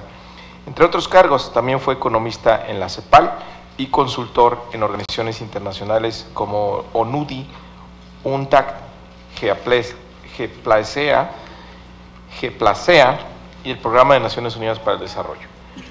El maestro Torres ha desempeñado puestos de responsabilidad ejecutiva en empresas fabricantes de bienes de capital, ha sido docente en las escuelas de economía de la UNAM, del ITAM, de la Universidad de Anáhuac, así como eh, eh, maestro en profesor en la maestría de Administración, Planeación y Economía de los Hidrocarburos en la ESIA del Instituto Politécnico Nacional. Actualmente es investigador del Programa Universitario de Estudios del Desarrollo de la UNAM y su línea de investigación está enfocada a temas de energía, planeación del desarrollo y medio ambiente. Gracias, maestro, por acompañarnos. Muchas gracias, y agradecido soy. Es un privilegio estar en este recinto, estar con ustedes. Gracias, senador y gracias a todos mis colegas que me acompañan en esta mesa. Eh, yo quiero centrar, tratar de acortar la presentación, eh, debe haber ya cansancio, en tres aspectos. Yo creo que, aunque ya se ha dicho, me gustaría insistir en algunos aspectos para entender qué es esto del gasolinazo, es algo que tiene muchas dimensiones. Segundo, cuál es la situación estructural que tenemos acumulada, grave, en, en materia de energéticos. Y tercero, ¿qué hacer? Esa es la línea que voy a tratar de seguir con, con ustedes. Yo comenzaría por decir que este planteamiento básico que quisiera hacer con ustedes gira en torno a la siguiente idea, tal como se nos invitó a conversar en esta reunión. El gasolinazo abrió varias disyuntivas en el devenir de la soberanía energética nacional, entendida esta, la soberanía energética nacional, como la capacidad de la nación de gobernar el sistema energético nacional a través de sus órganos de representación. Es decir, lo que está en trance ahora, a mi modo de ver, es aprovechar, transformar y hacer uso de la energía del país en apego al dictado de la nación y a la movilización de sus capacidades y activos, que no son pocos, o de otra parte, sujetar los procesos energéticos al albedrío mercantil de las fuerzas del mercado, protagonizadas por oferentes nacionales, pero principalmente extranjeros, y la atomización de consumidores nacionales cuasi cautivos. Pero permítame hacer una aclaración. La disyuntiva que se plantea de modo de ver, lo que plantea este trance, no es entre suministro externo o interno. No, tampoco es entre autarquía o librecambismo, o entre el proteccionismo trompiano, si se permite la expresión, versus una apertura irrestricta. Es un asunto donde elemental, donde la racionalidad económica debe, debería privar en interés de la soberanía nacional energética y del patrimonio nacional y no de juegos de mercado por venir que a lo mejor pueden ser muy bonitos en la realidad eh, imaginaria, pero que están muy lejos de estar aquí.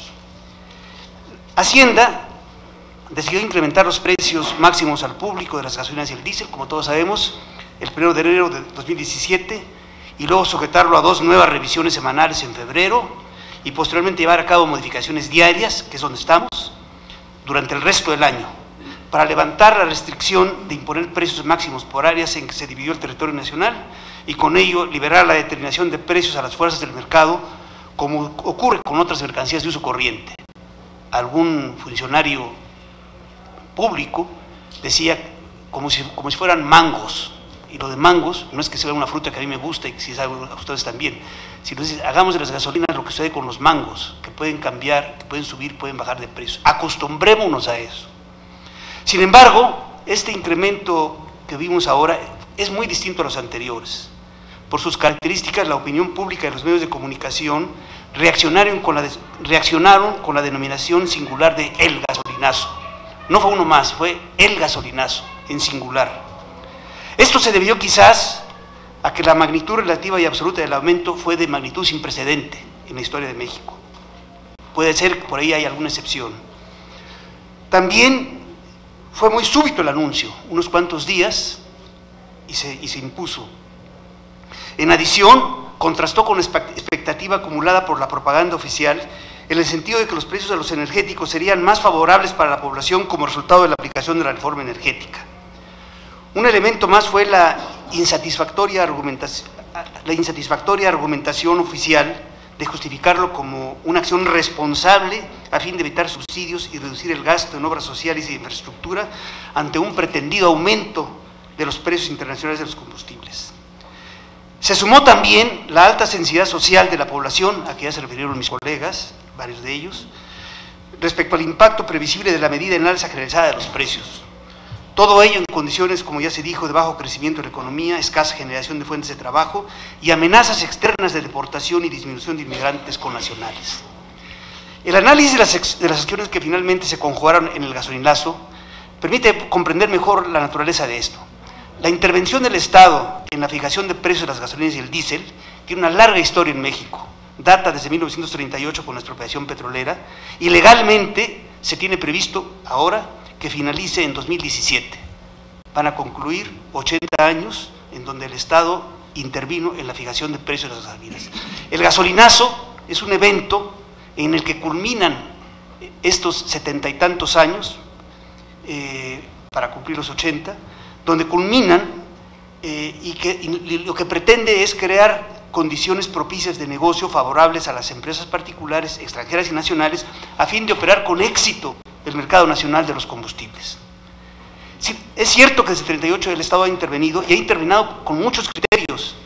A veces ha privado más el costo de producción, a veces ha privado más los precios en los estados del sur de los Estados Unidos, a veces ha privado más la recaudación fiscal, el incremento de la inflación, el abasto y fortalecimiento del mercado interno, la protección del consumidor, la protección del transporte público, la protección de la industria automotriz, criterios ambientales, es decir, en setenta y tantos años ha habido muchos momentos en donde algunos de estos criterios han privado.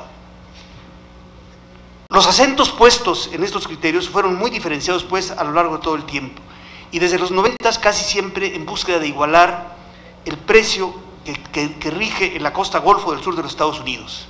Fue la referencia internacional que se adoptó en México desde principios de los años 90 a fin de determinar los precios, se le llamó, en término técnico, los precios de referencia de Pemex. El gasolinazo es pues la parte reciente de la historia del fin de la intervención del Estado en la fijación de precios de las gasolinas y el diésel. Y en esta breve historia del gasolinazo hay cinco actos, como si fuera una obra de teatro, que si me permiten ustedes, voy a precisarlos porque eso nos permite entender qué hacer. El primer acto fue en diciembre de 2013. El régimen jurídico constitucional de los combustibles se modificó. Perdieron su condición de bienes estratégicos, de propiedad exclusiva de la nación, y se integraron al tratamiento mercantil con cualquier otra mercancía. La refinación y otras actividades de transformación industrial de primera mano dejaron de estar a cargo exclusiva del Estado. Es decir, las actividades de Pemex no constituían monopolio, contrario a lo que se ha pregonado hasta la saciedad torpe y falsamente de que era un monopolio, no era monopolio. La, Constitución claramente lo establecía, no constituye monopolio. ¿Qué implicaba eso? Que no tenía Pemex la obligación, ni le permitía, ni le permitía establecer precios en función de criterios de máxima ganancia o de naturaleza mercantil. Por eso no ejercía monopolio, porque si ejercía monopolio, pues tendría que fijar los máximos precios. Pero el constituyente o quien haya sido, quien haya plasmado eso en la Constitución, con mucha visión, restringió esa posibilidad. El segundo acto, ese cambio de agosto, que, cambió el estatus jurídico de los, eh, combustibles, dejó muchas cosas en el aire. ¿Qué iba a pasar con Pemex? desde, el punto de vista de las refinerías, de la petroquímica, cómo se iba a dar esa liberación de, de precios, cómo, en fin, muchas dudas.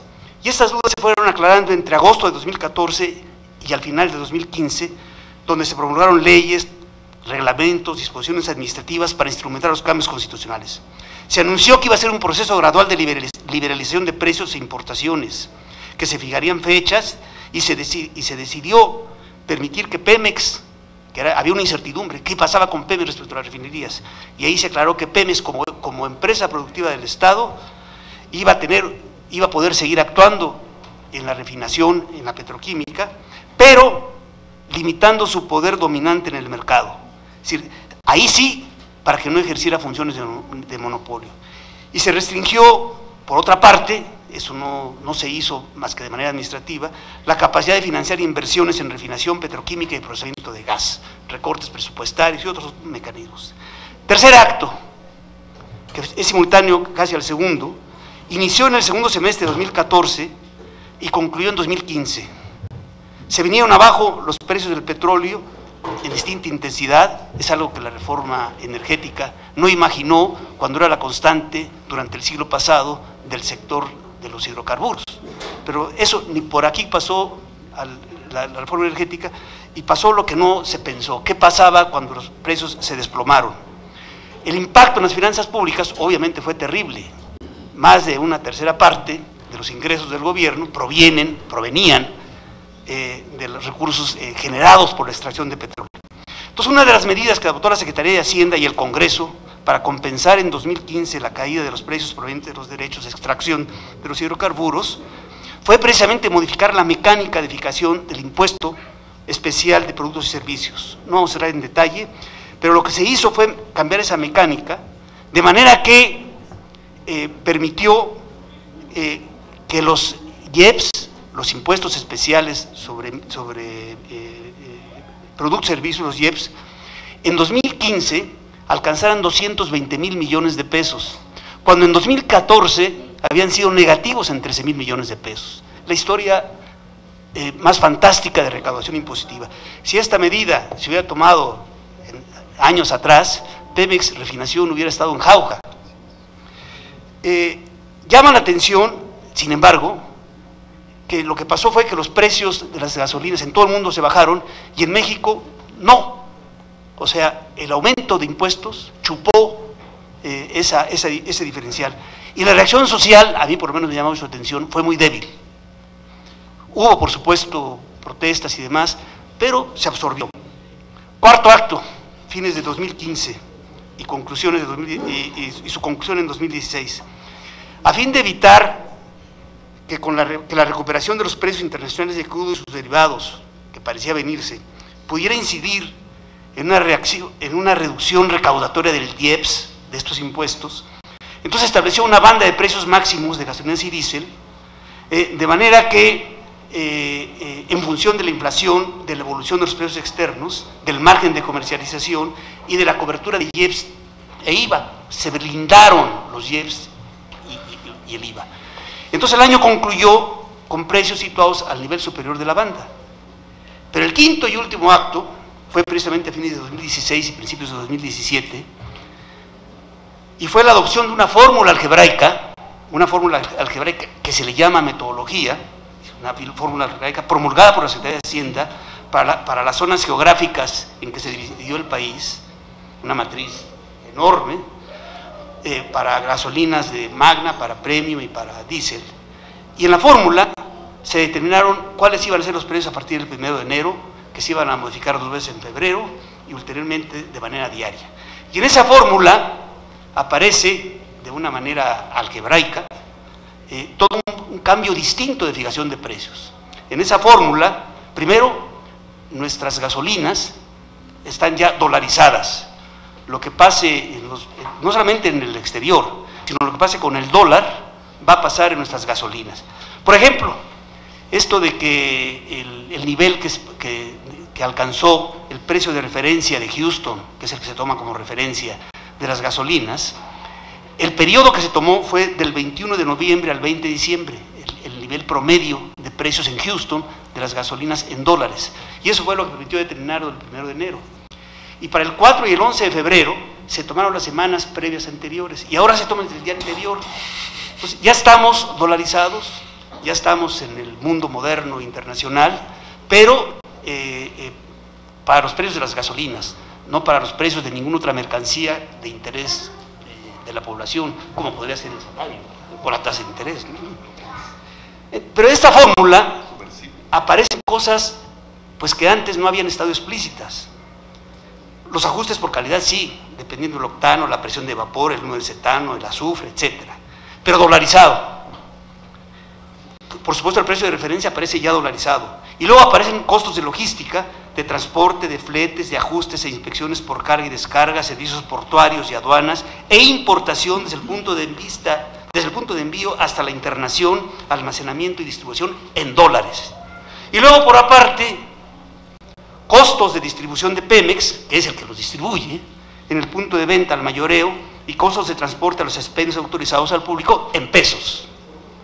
Y por supuesto el margen comercial para el combustible en pesos, y los IEPS en pesos, y otras cuotas como el IVA también en pesos. Es decir, bajita la mano, hubo un cambio algebraico en una fórmula, eh, que eh, la información con que se alimenta esta fórmula no es pública, yo por lo menos no la conozco, si el senador información me encantaría, si alguien aquí tiene alguna información, no es pública y es una información para las tres gasolinas, para las noventa y tantas regiones, es decir, es una información fabulosa. Que yo sepa, esa información tampoco la tiene Pemex, es una información que implica una cantidad de costos que yo tengo entendido que no se lleva, pero no solamente no se lleva, Pemex no está diseñado, sino como un sistema, no es, no es, no es un conjunto de empresas Pemex. Bueno, todo esto para decir, la fórmula para determinar los precios de las gasolinas y el diésel parece, como ya se dijo, como lo dijo eh, Benito hace rato, está diseñada para estimular y facilitar la importación a cargo de particulares, como si la producción nacional desapareciera, ya no es necesaria. Ahora vamos a tener, podemos tener producción abasto importado con precios importados, como sucede en otros lados, eh, y es el factor principalísimo para la fijación de precios. Dicho esto, eh, no quiero eh, entrar en un aspecto que me tomaría más tiempo, y es que no, tenemos un problema muy grave que no es de ahora, es de 30 años, desde 82, hemos abandonado el Sistema Nacional de Refinación. Decir, la demanda no, creció mucho, pero siempre ha ido para arriba de gasolinas, de diésel. Y la oferta, la capacidad que tenemos instalada, la capacidad de almacenamiento, quizás su, creció un poco, es la misma de 1982. Entonces, o menos. Por Escapuzalco. Por Escapuzalco, aunque hubo algunas mejoras que, que se pasaron, y, y Poza Rica también. Pero se abrió una brecha. Y ahora lo que tenemos es el resultado de esa brecha. Tenemos un problema muy grave con reforma energética, sin reforma energética. Supuestamente la reforma energética pretendía resolver eso, pero es un problema acumulado muy grave de ese abandono de tanto tiempo. Pero el Sistema Nacional de Refinación fue diseñado y construido desde los años 70. Básicamente es el mismo. Los criterios en aquella época fueron procesar la creciente extracción petrolera, satisfacer con visión de futuro el mercado interno y articular al Sistema Nacional de, Refinación el Sistema Nacional Eléctrico para el abasto de combustibles que requerían las instalaciones termoeléctricas. Era todo un planteamiento estratégico. Todo eso se vino abajo en estos 30, 40 años. Las inversiones del Sistema Nacional de Refinación posteriores a esa década han sido siempre insuficientes. El obstáculo siempre permanente y reiterado es la incapacidad abierta o deliberada de no financiar inversiones con recursos del Estado, propios o de préstamo. La capacidad de proceso, almacenamiento y distribución prácticamente no creció.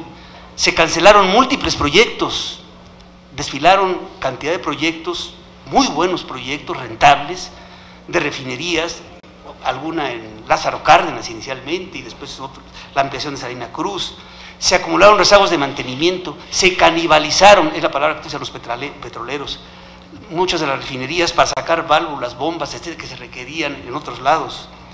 Se atrofió el, el, sistema. Además de que el suministro de crudo siempre se dio preferencia a la exportación, el mejor crudo exportar, y lo que sobraba para el mercado interno. Y las refinerías tenían que operar contracorriente. La construcción fallida de una nueva refinería de Tula fue por demás significativa eh, fue un simulacro y que ahora, eh, simulacro que ahora lo vamos a pagar, porque está, según la Auditoría Superior de la Federación, se deben lo que se fue donado, que fueron los terrenos en el Estado de Hidalgo, según la Auditoría Superior de la Federación, acaba de revelar que tenemos una deuda con el gobierno del, est- de- del Estado de Hidalgo, porque la famosa donación, pues no fue donación.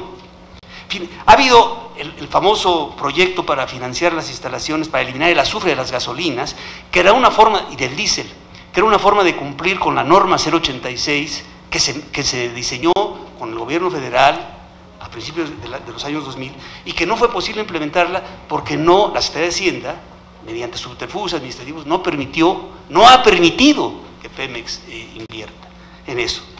No obstante, durante décadas, todos los mexicanos sabemos, se abasteció el mercado nacional de gasolinas y diésel con eficiencia, con eficacia y con regularidad.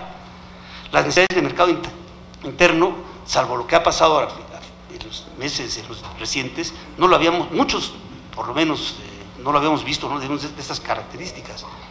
El llamado paquete ecológico con el cual se eliminó el plomo a las gasolinas y hubo una verdadera inyección de renovación en nuestras eh, refinerías parcial de fines de los 80, principios de los 90, que permitió abatir la contaminación durante un largo tiempo, fue gracias a que con recursos japoneses en particular se logró financiar ese paquete ecológico. Hubo fallas, no se logró echar a andar una hidro- hidrodesulfurada, de residuales, olviden el tecnicismo, sí, pero hubo fallas que impidieron eh, tener lo que se quería lograr con ello. Pero sin embargo, ahí está el resultado. Y sí se pudo.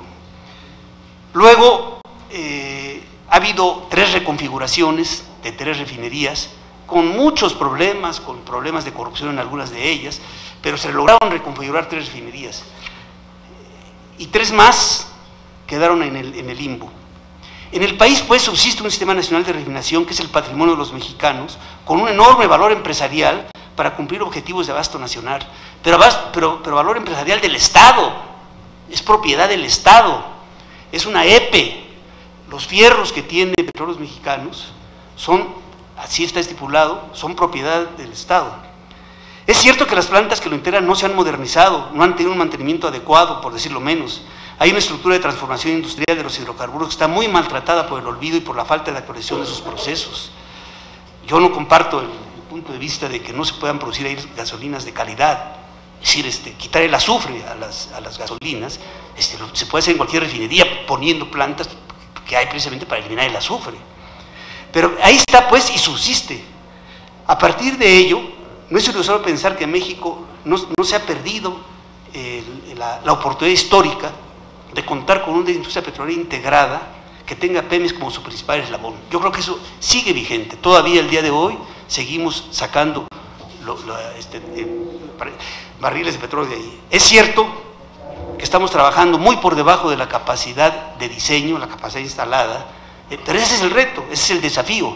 Y tampoco es cierto que se requiera mucho tiempo. Y, tampoco es cierto que pueda ser una inversión aislada. Es un sistema nacional de refinación, así fue planteado. Es decir, no, no es un conjunto de fábricas de camisas, no es una huerta de aguacates, no. Es un sistema muy complejo, cada refinería tiene por lo menos 50 plantas industriales y, hay un, flujo muy complejo. Es decir, no es casual que prácticamente no haya una sola empresa en el mundo que pueda construir una refinería sola. En ese sentido, no hay que olvidar que salvo las grandes corporaciones, no, no hay que olvidar que lo que salvó a las grandes corporaciones internacionales del colapso de los precios del crudo fue precisamente la refinación y la transformación industrial, incluida la petroquímica. Allí se obtuvieron ganancias y gracias a ello muchas de ellas sobrevivieron.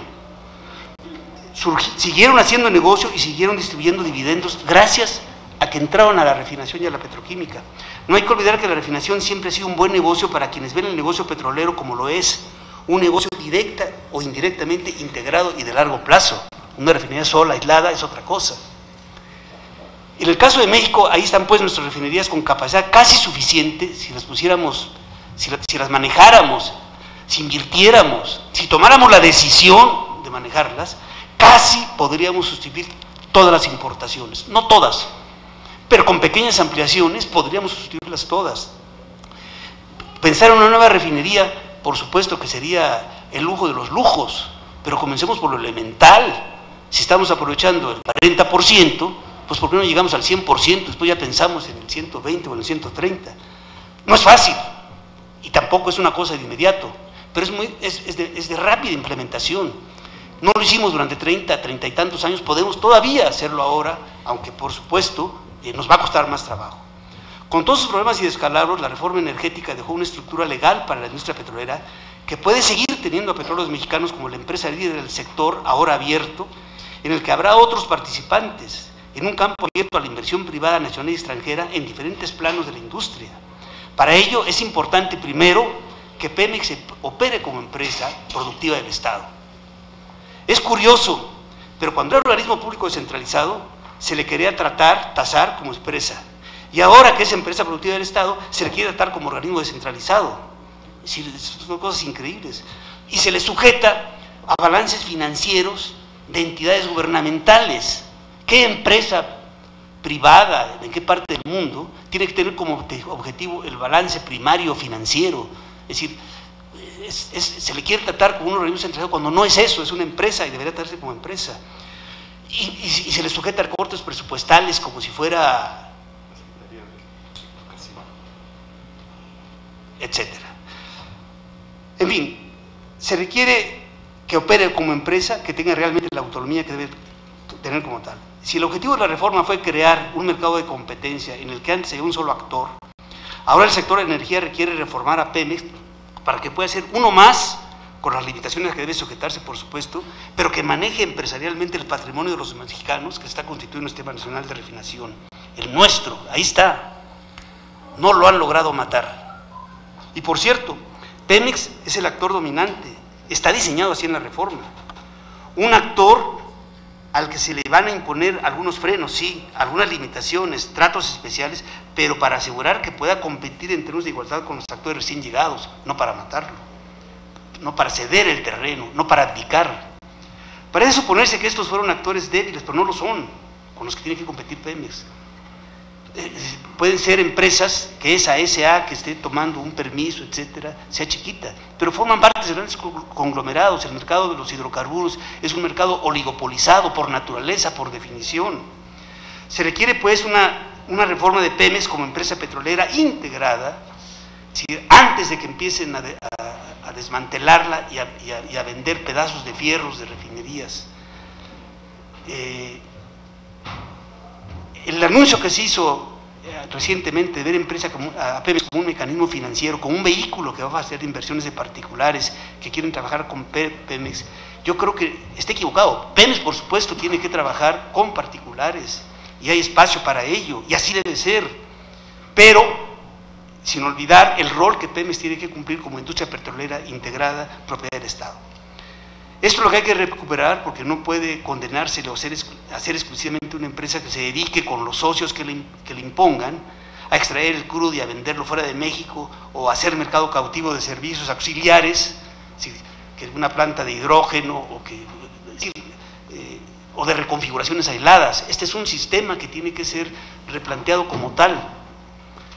O vendiendo, como ya ocurrió, algunos gasoductos, trozos de infraestructura. No debería ser, pues, seguirse manejando con un botín de garage. Como se sabe, la reforma define un campo para la acción pública, otro para la acción privada y otro para la asociación entre ambas. Lo que se ha hecho con insistencia es restringir el primero de estos campos y ampliar la de los otros dos. Más, mucho más impulso a los campos de la acción privada y de la asociación pública privada y restringir el campo de acción directa de Pemex. La asociación para el campo Trión, es eh, recientemente aprobada, es un buen ejemplo. En contraste con la experiencia de estos años, debe reconocerse que ahora México tiene la oportunidad de formular una política energética que puede ser con cambios legislativos o no. Lo importante no es eso, lo importante es poner de pie al país, poner de pie la soberanía, que no esté capturado por las finanzas públicas, que no esté secuestrada.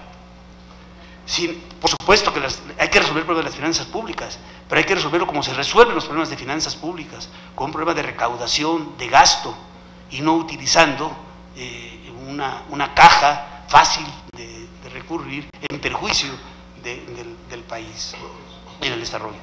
Esto supone pensarnos como país, pensarnos como sociedad, pensarnos frente a la naturaleza y construir nuestra propia política energética. Muchas gracias. Muchas gracias, doctor.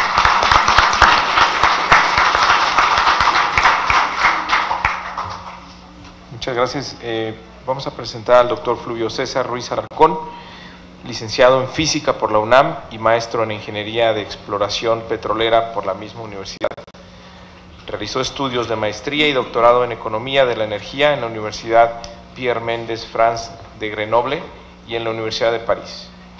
Ha sido profesor en la Universidad Panamericana, asesor en la, del PRD en Política Energética en la Cámara de Diputados, también es miembro del Comité Nacional de Estudios de la Energía. Ha publicado diversos artículos en periódicos y revistas de México, Estados Unidos, Francia, Italia y Noruega. En noviembre de 2005 fue galardonado por el mejor artículo técnico del octavo Congreso de la Asociación Mexicana para la Economía Energética. Entre 2009 y 2015 se desempeñó en Pemex como consejero profesional y también ha sido presidente del Comité de Desarrollo e Investigación Tecnológica y del Comité de Medio Ambiente y Desarrollo Sustentable del Consejo de Administración. Asimismo, fue presidente de los comités de estrategia e inversiones de los organismos subsidiarios Pemex Gas y Petroquímica Básica y Pemex Petroquímica. Muchas gracias, Fluvio, por estar con nosotros. Eh, muchísimas gracias, la verdad es que es eh, un privilegio y un gusto eh, estar aquí eh, a invitación de mi buen amigo, el, senador Mario Delgado, y compartir la, mesa con eh, tan extraordinarios eh, colegas. Eh, bueno, me toca la difícil tarea de ser el último y que no se duerma la mayoría del público. Entonces, voy a tratar de entrada de no repetir demasiado y más bien tratar de dar una lectura un poco global, o global de lo que aquí mis colegas y amigos han dicho a lo largo de, de esta sesión. Y antes de iniciar, yo quisiera eh, lanzar una pregunta a la que regresaré al, al final y, eh, y describir una, una viñeta. Eh, la, la pregunta es, ¿por qué la respuesta social ante los desmedidos incrementos de la gasolina y por qué no hablamos tanto de los también desmedidos incrementos del gas LP? Si, si vemos lo que han aumentado el, el gas LP, este, verán, si lo vemos sobre todo a partir de agosto del año que entra, ambos combustibles, verán que no hay mucha diferencia. Pero me llama la atención que eh, una provoca una reacción social y el otra pareciera que no es demasiado importante. Esa es la, esa es la pregunta. Y, la viñeta tiene que ver con un trabajo espléndido que, que en el que participó eh, Ramón Carlos. Eh, debo decir, yo tengo también es, entre los lujos que me, que me da la vida cotidiana es re, reunirme regularmente con un grupo de amigos en el taller de energía del programa universitario de estudios del desarrollo y eh, el trabajo que este taller eh, realiza eh, se refleja en el informe de desarrollo anual que, que, publica el programa universitario de estudios del desarrollo y en el de 2015, en la parte energética, se describe cómo este país durante tres décadas al menos, pues no dependió del petróleo. Este país eh, entre 1940 y 1970 creció a tasas eh, que hoy harían salivar a Carstens, Videgaray y Mead juntos, tasas del 6%, cuando el aporte en términos del PIB andaba en el 1% menos y en términos de las finanzas eh, del Estado mexicano apenas llegaban a los dos dígitos. Y, crecimos en esta etapa que se conoce como el desarrollo estabilizador.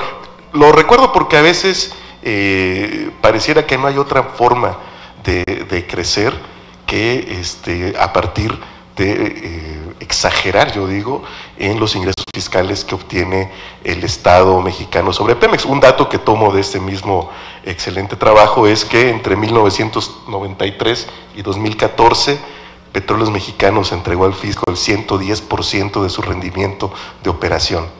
Ese régimen fiscal no lo tiene ni Obama, dijera alguien por ahí. En todo caso, no lo tiene ni Exxon ni nadie. Y yo pregunto, ¿qué empresa piensan ustedes que puede sobrevivir si en un lapso de 21 años tiene que endeudarse nada más para pagar impuestos? Olvídense las inversiones, las nóminas, hasta la corrupción. O sea, nada más para pagar impuestos tuvo que endeudarse Pemex entre esos 21 años. Bueno, lo dejo ahí. Eh, la, viñeta y la pregunta, como dije, regresamos al final. Si hay algo que yo no diría se omitió, yo estoy convencido que se evitó plasmar eh, en, en, la reforma de 2013-2014 fue cualquier referencia a la soberanía. O sea, insisto, no solamente se omitió, sino se evitó y a quienes éramos críticos de, la reforma se nos incluyó en esta comodina denominación, que a mí no me ni me molesta, de eh, nacionalista trasnochado. ¿no? Digo, pues sí, pues sí, y, ¿no? Este, y todo lo que pudiera haberse hecho como eh, reforzamiento de la capacidad del Estado para eh, controlar, regular eh, este bien que como se ha dicho aquí en la mesa, pues sí es nuestro mientras no se saque, lo cual es más, le, le yo al senador, eso es más como una frase terapéutica, una especie de reflejo de la mala conciencia de quienes hicieron la reforma, que algo que tenga realmente sentido. En, estas condiciones. ¿no? Es más para no sentirse mal a la hora de dormir y capaz que se cruzan por el metro Lázaro Cárdenas y no puede ser. ¿no? Este, eh, todo toda la reforma... como cuando te regalan las estrellas. Exactamente, sí, exacto. No, pues este, supongo que en la luna les corresponde a cada terrícola una parte. El petróleo siempre cuando esté abajo. Exacto, ¿no? Entonces, eh, eh, no tiene ningún sentido.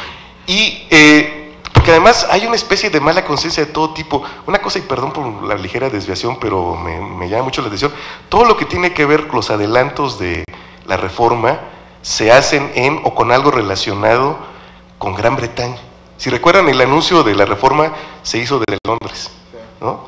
Este, ahora nos dicen que el secretario de Energía va a asistir a la inauguración de la primera gasolinera de BP, que hace como 20 años intentó, vía prestanombres, tener gasolineras cuando era ilegal, hasta que Proceso por ahí sacó un excelente reportaje y tuvieron que malbaratar esas. Bueno, ahora van, ahora que ya se puede, van este, con MIPI. Recuerden, la expropiación afectó fundamentalmente eh, intereses británicos y eso nos valió un boicot que duró varios años y que describe de manera sensacional eh, el entrañable Lorenzo Meyer en su majestad británica contra la Revolución Mexicana. Bueno, será el paréntesis.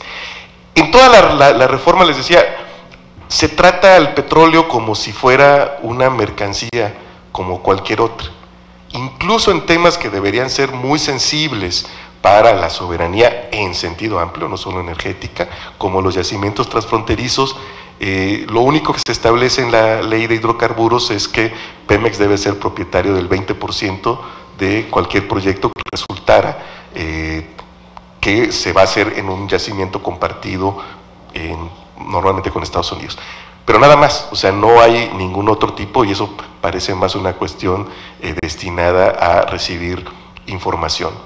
Se llega incluso al extremo de que después de un periodo transitorio de tres años, que sé que concluye en este año, eh, la parte de crudo en los contratos de producción compartida, el crudo que le corresponde al Estado, no lo va a comercializar PMI, que es la comercializadora de petróleos mexicanos, sino que se va a licitar.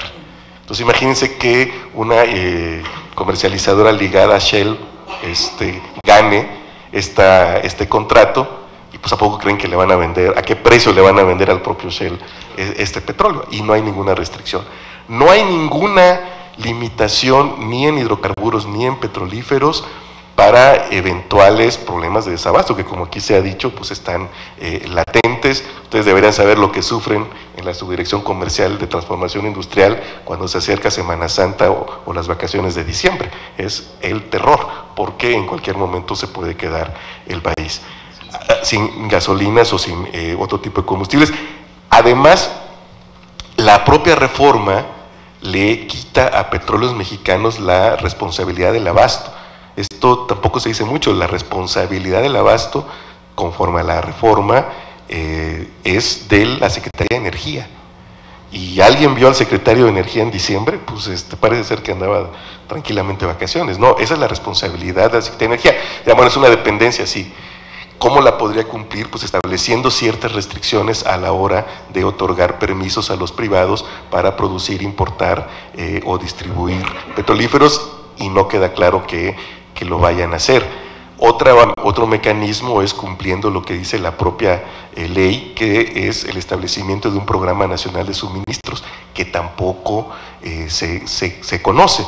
De hecho, en su versión original, la, eh, la reforma, la, la iniciativa que envió Peña Nieto al Congreso establecía que la apertura se daría en el año de 2020. Después se aprobó eh, ya en el proceso de discusión o cualquier cosa que haya sido, eh, exacto, en, en- en el, en el verano de 2014, esto se pasó a 2018. ¿no? Y la libre importación se dijo que podría hacerse desde a partir de 2016 siempre y cuando hubiera las condiciones para ello. Incluso en el hoy abrogado decimocuarto artículo transitorio de la ley de hidrocarburos, en el segundo párrafo, se establecía que desde 2015 los precios deberían reflejar las diferencias regionales. Esto, esto, pues esto ya no ocurrió.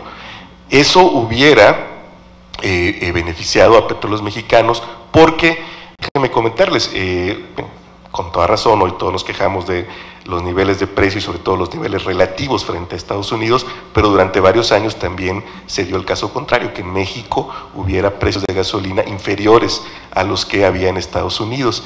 Y en ese caso, y durante esos, esos años que así ocurrió, el IEPS, como eh, eh, nos explicaba el buen amigo Benjamín, el IEPS que es que funcionaba como un buffer, le restituía a petróleos mexicanos el diferencial de precios, pero solo el diferencial de precios. Si Pemex compraba 10 en Texas y vendía en todo el país, porque recuerden había un precio único, eh, a 8, vía IEPS recibía la diferencia de 2 pesos, pero por litro, pero nada más, es decir, no se le reconocían a petróleos mexicanos eh, el costo de toda la logística, de la importación, la distribución, el, transporte. Esa parte la asumía petróleos mexicanos y era mucho dinero. El, eh, el último dato que recuerdo que se dio a conocer en el Consejo de Administración para 2012, eso implicó 11 mil millones de pesos de, eh, ahí sí, de subsidio, porque era un costo que Pemex no reflejaba y no le era resarcido ni vía IEPS ni vía ningún otro mecanismo fiscal. Entonces, eh, ahora lo que eh, ocurrió en, diciembre, bueno, de hecho el, primer paso para el adelanto de la liberalización se dio como suele ocurrir eh, con, muchos y como se ha dicho aquí, hacia los últimos días de diciembre, ¿no? Cuando ya todo el mundo está pensando si el bacalao o si mejor pavo y no sé qué. Los últimos días de diciembre este, se cometen en este país las peores atrocidades fiscales, ¿no? Este, todavía en diciembre de 2014, el 28 de diciembre, además 28 de diciembre, para que no quede duda, eh, Hacienda hizo, eh, ejercitó su facultad de lo que en más de un sentido se conoce como aprovechamiento, que eh, era esta capacidad que los legisladores le dan, hay que decirlo, sin mucha discusión, en, la ley de ingresos, no todos, por supuesto, me queda claro, ¿eh? este, que algunos reclaman, aquí me acordaba con el senador delegado de nuestro querido camarada Vidal Llerenas, que siempre se queja del rubro otros, otros, otros, con toda razón, ¿no? porque este, nadie más lo hace. Este, le quitaron a Petróleos Mexicanos ahí 50 mil millones de pesos y a la CFE 30 mil millones de pesos este, de, a partir de ese aprovechamiento que ahora se conoce como dividendo estatal y que eh, ya no se ha ejercido. Pues bien, a fines de 2015, en el primer acto para retomar la teatral línea discursiva de mi amigo Ramón Carlos, lo que la Secretaría de Energía, para tratar de cumplir este eh, precepto que estaba en la ley de hidrocarburos de que se podía adelantar la libre importación si existían las condiciones, le mandó un oficio a la Comisión Federal de Competencia Económica, que es algo así como el chivo en la cristalería del sector energético. Es, es- es impresionante. Digo, tratan de imponer medidas de libre mercado en un sector que es un oligopolio natural y eso eh, da lugar a, a la expresión. Pero bueno, le pregunta en los últimos días, a mediados de diciembre, los últimos días laborables de 2015, eh, la Secretaría de Energía a la COFESE, fíjese, la, pregunta fue, ¿qué ocurriría si adelantamos eh, la libre importación de gasolinas? Los primeros días de enero, como regalo de Reyes, la COFESE responde, no hombre, pues vamos derecho al paraíso y la gloria eternas. Pues qué más iba a responder un órgano como la COFESE. Pero esa no era la pregunta que tenía que responder. La pregunta, si se quería cumplir la ley, era si había condiciones de competencia para establecer la libre importación. Eso no ocurrió pero sobre la base de cinco hojitas, porque las deberían ver, eran cinco hojitas más una de firmas de los comisionados, este, y otro de fotos de las celebraciones, ¿no es cierto? Este, sobre esa base se adelantó la libre importación para abril de 2016, que como ya hemos dicho aquí varios compañeros, pues está en el papel. O sea, ¿por qué? Pues porque eso de que existan condiciones de mercado es, es solo producto de la optimista imaginación de muchos funcionarios, pero evidentemente no hay condiciones. No se hizo nada, nadie importó, bueno, por ahí hubo importaciones marginales, quizá Benjamín sepa más, eh, de algunas empresas privadas para autoconsumo, ¿no? Este, como ahora uno puede ir a Galveston o a Port Arthur y traerse hasta a buches la gasolina, pues este, hubo quien lo hizo para eh, su consumo, algunas empresas. Y eso fue todo lo que ocurrió. Y en la ley de ingresos, a la hora de la discusión de, eh, de la ley de, ingre de ingresos, se adelanta sin mayores explicaciones y sin atender el que me parece el trabajo más serio que hizo la, ha hecho la, la COFES en el sector, que es todo un documento en, el cual plantea una serie de condiciones que tendrían que cubrirse antes de liberalizar el mercado de gasolinas, pues sin siquiera apelar ese documento, como si no hubiera existido, eh, se la, la, mayoría, el bloque hegemónico, para decirlo con Gramsci, este, se impone en el, en el Congreso y esa mayoría es la que decide que se adelante eh, la liberalización del, del mercado. ¿Y por qué no hay condiciones? Bueno, pues porque la única infraestructura existente es la de petróleos mexicanos. La temporada abierta lo único que va a hacer es que la infraestructura que ya existe de petróleos mexicanos ahora sea utilizada por sus competidores. No, no, eh, implica una mayor infraestructura. La idea en este cambio de, eh, de, los precios y sobre todo aquí sí, de la estructura de los precios es que implícitamente se le den, dicen los economistas y malos oficiales, los incentivos a la industria privada para invertir en, en, infraestructura. Porque todo lo que con mucho detalle nos, nos platicó Ramón Carlos, que son las componentes que están dentro de, del precio, con excepciones del IEPS y, y, de los margen, que cuando dicen, por cierto, margen de gasolineros es margen de los dueños de las gasolineras, ¿eh? este no es el margen de estas empresas que se espera eh, lleguen a invertir, porque ese margen, el verdadero, eh, está implícito, no hay eh, ninguna explicitación del mismo y es lo que ha implicado eh, y lo que explica de mayor medida el incremento de las gasolinas. Por eso a mí no me parece una buena solución que eh, se pida, y menos desde la izquierda, que, la, que se reduzca el IEPS, porque eso es simplemente reducir los ingresos del Estado sin llegar a los subsidios, evidentemente mientras sean positivos no hay subsidios, pero sí reduce los ingresos del, del Estado y se dejan intocados estos otros elementos implícitos que son los que están en realidad en favor de eh, una inversión privada. Y hoy por hoy, y, este, para ir regresando a la pregunta del gas LP, hoy por hoy la estructura del de, sector gasolinero es una estructura muy de pequeñas empresas. O sea, el, el 80% más o menos de las 11.500 gasolineras le pertenecen a empresas, familias que tienen hasta cuatro gasolineras. Existen algunos grandes grupos, pero en general la inmensa mayoría de las gasolineras son todavía pequeños, entre comillas, negocios. Mi hipótesis es que si no hay una regulación adecuada, vamos en un lapso mediano, largo, ¿no? Este, no, todo lo que ocurre en el sector eh, toma tiempo, pero podríamos ir hacia un esquema oligopólico como el que existe en el gas LP.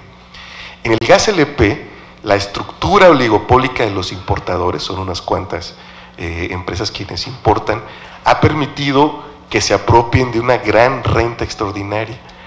Cuando en agosto del año pasado se dijo, eh, desde la Secretaría de Energía, además le hicieron mucha eh, alaraca, que se reducía el 10% del precio del gas LP, lo que no se dijo es que se estaba teniendo una ganancia extraordinaria porque el precio del gas LP en Estados Unidos se había desplomado. Aún con ese 10%, estos importadores sí, seguían teniendo una ganancia extraordinaria del orden de 5 pesos por kilo. Y, y, que recuerden, el, kilo pasó de 12 a 11 en agosto, bueno, todavía de esos 11 le daban casi 5 pesos por kilo de ganancia extraordinaria, de renta extraordinaria a los importadores. Y eso ya no se corrigió. Y ahora, del punto en que lo dejaron, esta disminución de 10%, eh, por ciento, hemos visto un, incremento que ronda el 20% más o menos en el gas LP y por eso insisto que me llama la, la, atención que no haya una reacción en ese terreno como el que sí se ha visto en el gasolinazo. Y finalmente yo quisiera concluir con que el, uno de los grandes problemas eh, de, la reforma no es solamente eh, la comunicación en sí, sino eh, las contradicciones en el discurso entre lo que se hace, se dice, y eso lo, se, ha, visto desde la discusión misma de, la reforma. En algún momento de la reforma, la, de la discusión de la reforma constitucional, la entonces subsecretaria de hidrocarburos dijo, eh, una de las ventajas de México es que vamos a licitar reservas. Entonces se armó tal escándalo que los legisladores del PRI dijeron, no, ¿cómo creen? No vamos a licitar reservas porque los operadores van a llegar a complementar el trabajo de Pemex y van a aportar. Bueno, estamos licitando no solo reservas, campos en producción. Se, eh, a pesar de la que la misma reforma dice que todos los campos en producción se le tendrían que haber dado a petróleos mexicanos, esto no ha ocurrido. Es decir, ni siquiera hay, eh, eso no ocurrió. Partes de los, sobre todo la ronda 1.3, son campos maduros, que muchos de ellos estaban en producción, y este, sin embargo se licitaron. Entonces, tiene que competir ahora. Exacto, ya, ya Pemex tiene que competir. Y ha habido una aplicación de la reforma muy sesgada. Todo lo que favorece en la reforma a petróleos mexicanos no se aplica y todo lo que favorece a las privadas incluso se exagera hasta el extremo de la ilegalidad. Por ejemplo, en el caso de Pemex se establecía que se le debería resarcir por las inversiones hechas en las áreas no retenidas, en lo que finalmente, y eso después de intervención de legisladores, entre ellos por supuesto el senador Mario Delgado, a Pemex se le va a resarcir solo por inversiones hechas en activos fijos en áreas solicitadas y no obtenidas. Eso es un 16 de lo que el sexto transitorio en letra y espíritu dice. A cambio, en las rondas 1.3 y 1.4, donde se licitaron contratos de licencia, no se pidió lo que el artículo 6 de la Ley de Ingresos sobre Hidrocarburos establece como la primera de las contraprestaciones a favor del Estado, que es un bono a la firma. Y ese bono a la firma no se pidió. Y eso me parece que sí es eh, un gesto ilegal. Pero, y la última de las inconsistencias las hemos visto en estos días. Mientras se habla mucho del libre mercado y de que paguemos las gasolinas a lo que cuestan, porque los mangos los pagamos a lo que cuestan, como si los mangos tuvieran un mercado mundial como el del petróleo. Digo, ah, este, un mango cuesta muy distinto en el mercado Tlacoquemeca, que es el que me queda cerca a mí, que, y sabe distinto, ¿no? Que en los lugares donde se produce, y un aguacate cuesta distinto seguro en el mercado de Patzingán, que, este, que en cualquier mercado o supermercado de la Ciudad de México. Entonces, más allá de eso, lo cierto es que el Estado se guardó la capacidad de controlar el precio. Y eso mismo, ese solo hecho, el que la propia ley de ingresos establezca que la CRE puede, cuando los precios internos de las gasolinas no sigan el comportamiento internacional, cualquier cosa que eso signifique, eh, intervenir también con precios máximos. Entonces, esta ambigüedad y esta inconsistencia al final del día me parece que se terminan siendo también un inhibidor de la inversión que los promotores de la reforma buscaban. Muchas gracias.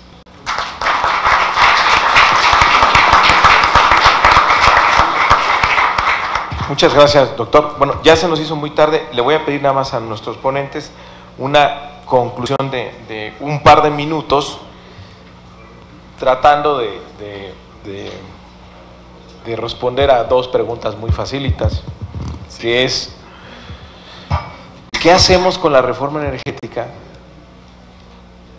si introducimos el criterio de la soberanía energética?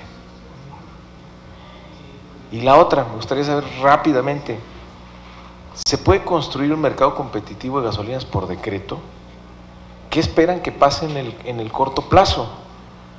Eh, nos presentaron aquí qué está ocurriendo, el escenario del gasolinazo, las inversiones necesarias que se requieren para entrar a un mercado de competencia. Tenemos ya precios libres, o vamos a tener precios libres, pero no tenemos un mercado competitivo. ¿Qué puede pasar en el corto plazo? Y pues los futuros de gasolinas dicen que en abril sube.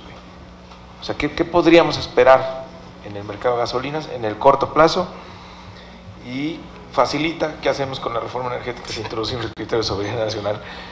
Un par de minutos para ya irnos todos y agradecerles el, que hayan estado aquí el- y el abuso de- que he hecho de, de su tiempo. Si quieren, con- concluimos en el orden que iniciamos. Adelante, Benjamín. Muchas gracias, senador. Eh, bueno, pues atendiendo la última, la última pregunta, yo creo que hay, hay un par de reflexiones complementarias que van un poco en línea de lo que hemos estado hablando todos. Eh, eh, a mí me parecen muy interesantes las, los comentarios, aseveraciones que, que- que me parecen muy, ah, muy adecuados eh, en torno a la, a la realidad energética que estamos viviendo. Vuelvo a recalcar el tema de corto plazo porque creo que sí tenemos que invertir en la capacidad de refinación, pero lamentablemente las, dadas las experiencias que hemos tenido, que hay que, hay que, hay, que, tenerlas presentes, como la realidad técnica y económica nos indican que estas refinerías no van a poder eh, estar operando en la manera que necesitamos, dados los extremadamente bajos niveles que tenemos en almacenamiento y por lo tanto eh, yo creo que eh, la necesidad inmediata sería invertir en capacidad de almacenamiento. Eh, esto, esto lo tenemos que hacer a través de la inversión privada, lo tenemos que hacer a través de la inversión pública, pero es un tema que contribuye a la, a la soberanía nacional, eh, a la logística de aprovisionamiento y que, y que a final de cuentas este, nos va a conllevar a un concepto fundamental en el tema de política energética, que se llama diversificación energética. Y esto es importante porque, porque tenemos que tomar en cuenta que eh, no hay un esquema eh, eh, puramente malvado o ni hay un esquema puramente benéfico en el esquema de la planificación energética, no solamente en nuestro país, pero sino en cualquier lado.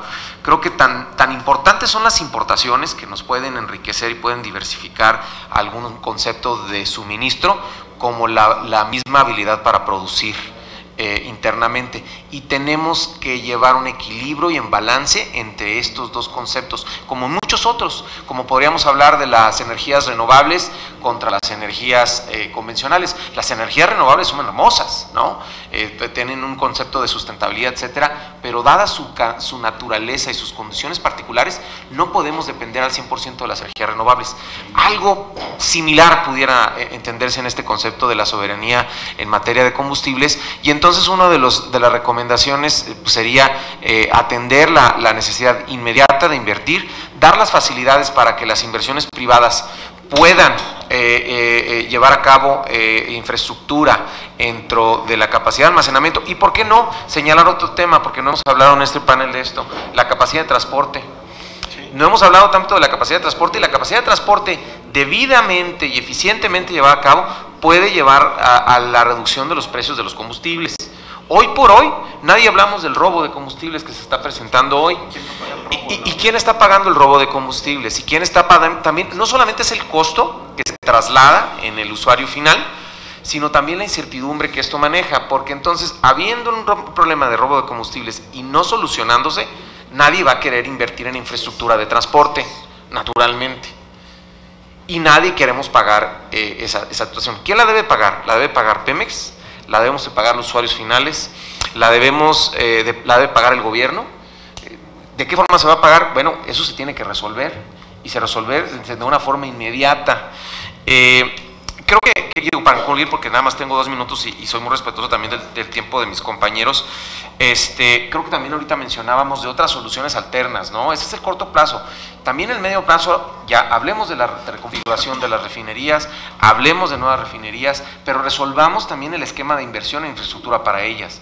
Ya se han tenido experiencias, y perdón, o sea, sí existe curva de aprendizaje en el proceso de implementación de la forma y existía cuando se reconfiguraban en- este, refinerías. ¿eh? O sea, había problemas de derechos de vía, hubo errores en, el acceso del uso de ocupación superficial y esa fue también curva de aprendizaje para el gobierno, para Pemex, para los inversionistas, para todos. Entonces hay que reconocer ese tema y eh, digo, no lo justifico, pero también tiene que entenderse que es una realidad del proceso de adaptación. Nos guste o no nos guste, las reglas del juego cambiaron. Y entonces, eh, eh, finalmente, creo que tenemos que invertir en temas de sustentabilidad. Lo hablaba Benito y creo que es muy cierto. En transporte público, eh, tenemos que hablar en ah, inversión en tecnología, desarrollo, coches que consuman menos combustible, este, te- esquemas de ahorro, menos contaminación, que hoy por hoy digo, este, mal que bien, lo, que, lo que yo mencionaba es que la norma oficial mexicana, pues deslinda o descarta muchos de los esquemas de refinación que tenemos hoy en México, para bien o para mal, pero esa es una realidad. Y entonces también tenemos que eh, eh, invertir en esa reconfiguración para tener a mediano, plano, a, mediano plazo eh, mitigar un efecto de mitigación de la alta dependencia que tenemos en la importación de combustibles, especialmente en el entorno que estamos viviendo ahorita en México. Y creo que aunque no tuviéramos ese entorno, ¿eh? Creo que aunque no lo tuviéramos, no es sano depender en esta gran medida de las importaciones provenientes de un país extranjero. Muy bien, maestro Benjamín Torres, muchas gracias. Ingeniero, adelante. por favor. Sí, bueno, yo creo que lo que debemos hacer es revertir la reforma energética. Hay que anularla. Debemos de movilizarnos, actuar, participar en ese sentido. Y asumir el poder que nos da la Constitución en cuanto a que los ciudadanos, el pueblo, debemos ejercer el poder que nos otorga para hacer lo que nos corresponde. O sea, no dejar totalmente en manos de los legisladores y los poderes fácticos la dirección del país. Necesitamos participar todos y sobre todo concientizarnos, compenetrarnos con la realidad que nos está conduciendo al despeñadero.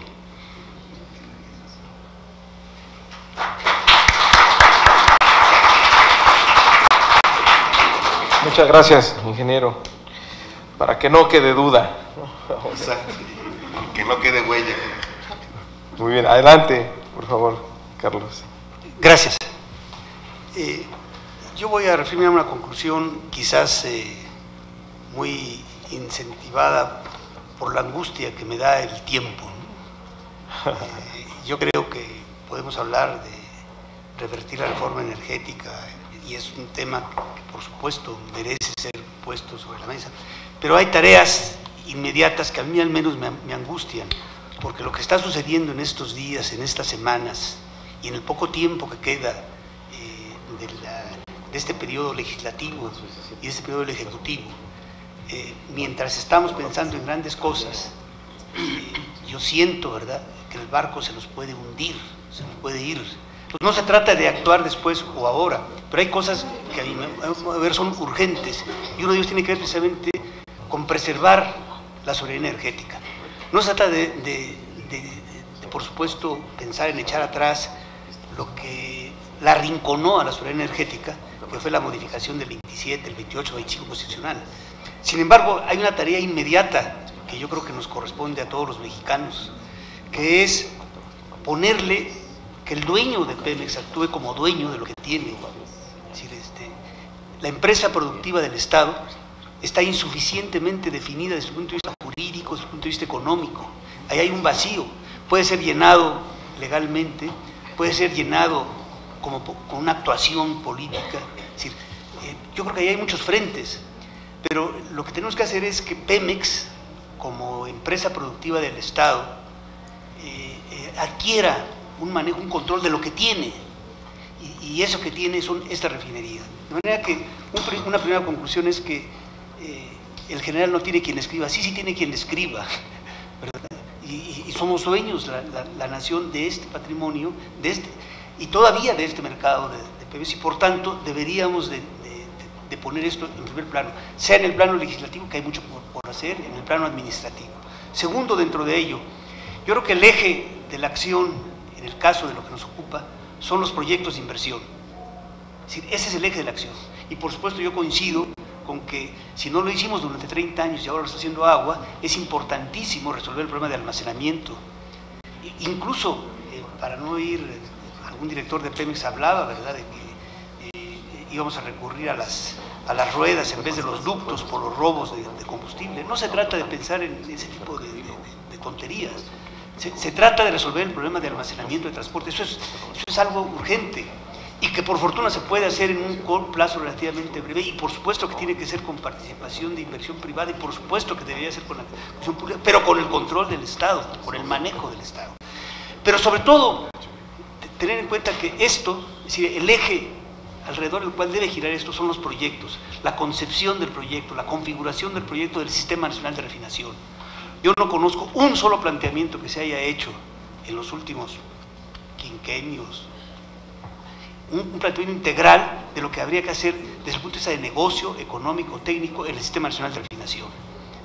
Sé que es muy complejo, pero hay cosas que son muy obvias y que, nadie las toca. Por ejemplo, el costo más importante en la refinación, lo que determina su eficiencia, lo que le da sentido empresarial a la refinación, es el costo de la energía.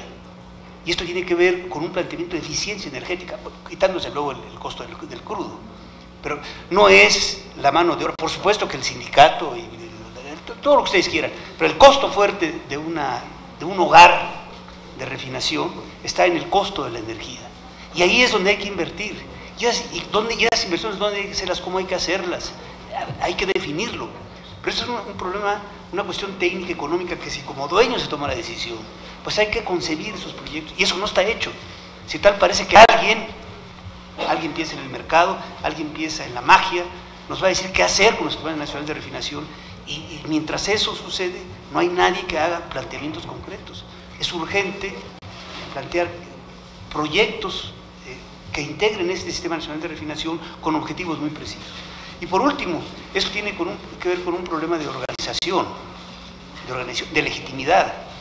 Es decir, hablar de, de la soberanía energética implica hablar, de la legitimidad, de la representación. Y por tanto, tenemos que fortalecer esa representatividad a base, de, ya lo dijo alguno de los oradores anteriores, de los eh, componentes anteriores, a base de una participación de, la población en estas cosas. No, no es un asunto de- de- de- del gobierno, no es un asunto del mercado, es un asunto de la población y tenemos que ser partícipes en eso. Tiene que ser una convocatoria nacional en torno a esta concepción de proyectos. Muchas gracias. Gracias, maestro. Fluvio, dos minutos. Gracias. Sí, eh, siguiendo un poco eh, lo que comenta eh, Ramón Carlos, yo diría que enero mostró los límites de- del modelo que se ha impuesto de desarrollo económico del, del país por, por dos vías, por el frente externo y por el frente interno. La llegada de Trump y la necesidad de voltear hacia mercado interno es un elemento. Y el segundo, el, enero nos, descubrió tremendamente frágiles como país en materia de combustibles. Importamos, vimos las cifras que nos mostró Benjamín, más del 60% de gasolinas, pero también importamos cantidades muy significativas de, gas LP, de diésel, de petroquímicos, de gas natural. Somos un país que depende terriblemente del exterior, a pesar de nuestra centenaria, porque tiene más de 100 años, nuestra historia eh, petrolera. Entonces yo diría, eh, y, y, pensando en las preguntas que nos hace Mario, ¿qué hacer en la recuperación, eh, en la parte de la soberanía?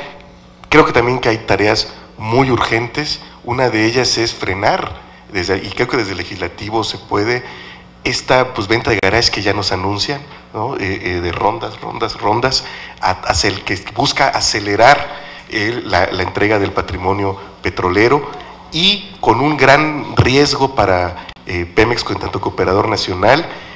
Entre agosto y octubre Pemex puede perder 65 asignaciones de las 109 asignaciones que recibió en materia de exploración, porque se cumplen los tres años que eh, la propia reforma constitucional dio para que en la ronda cero las asignaciones que recibió Pemex tuviera que cumplir un programa mínimo de trabajo que evidentemente no pudo cumplir por las restricciones presupuestales a las que estuvo sujeto y podrían ser 65 y a 65 si no hay ninguna acción pudiera ser, las podríamos ver licitadas sin mayor en los próximos 18 meses que eh, aún tienen.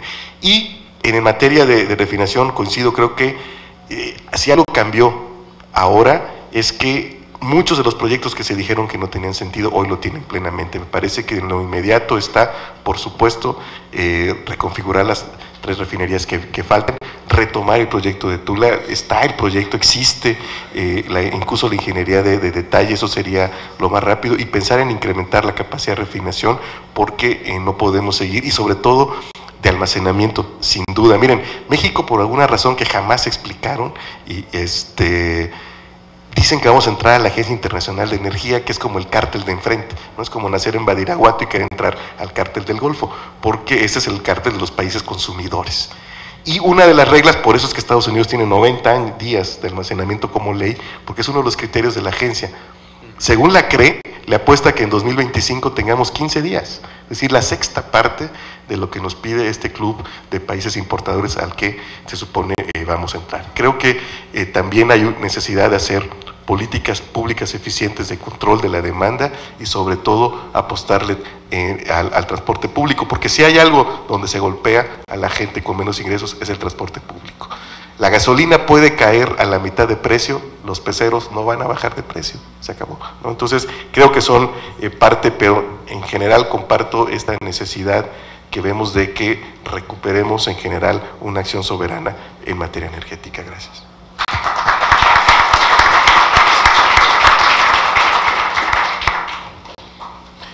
Muchas gracias eh, a todos eh, por haber estado aquí, por su tiempo que dedicaron a venir el día de hoy al Senado de la República. Nos quedamos con reflexiones muy importantes, con información eh, muy valiosa y pues con mucha incertidumbre hacia el futuro. Muchas gracias a todos.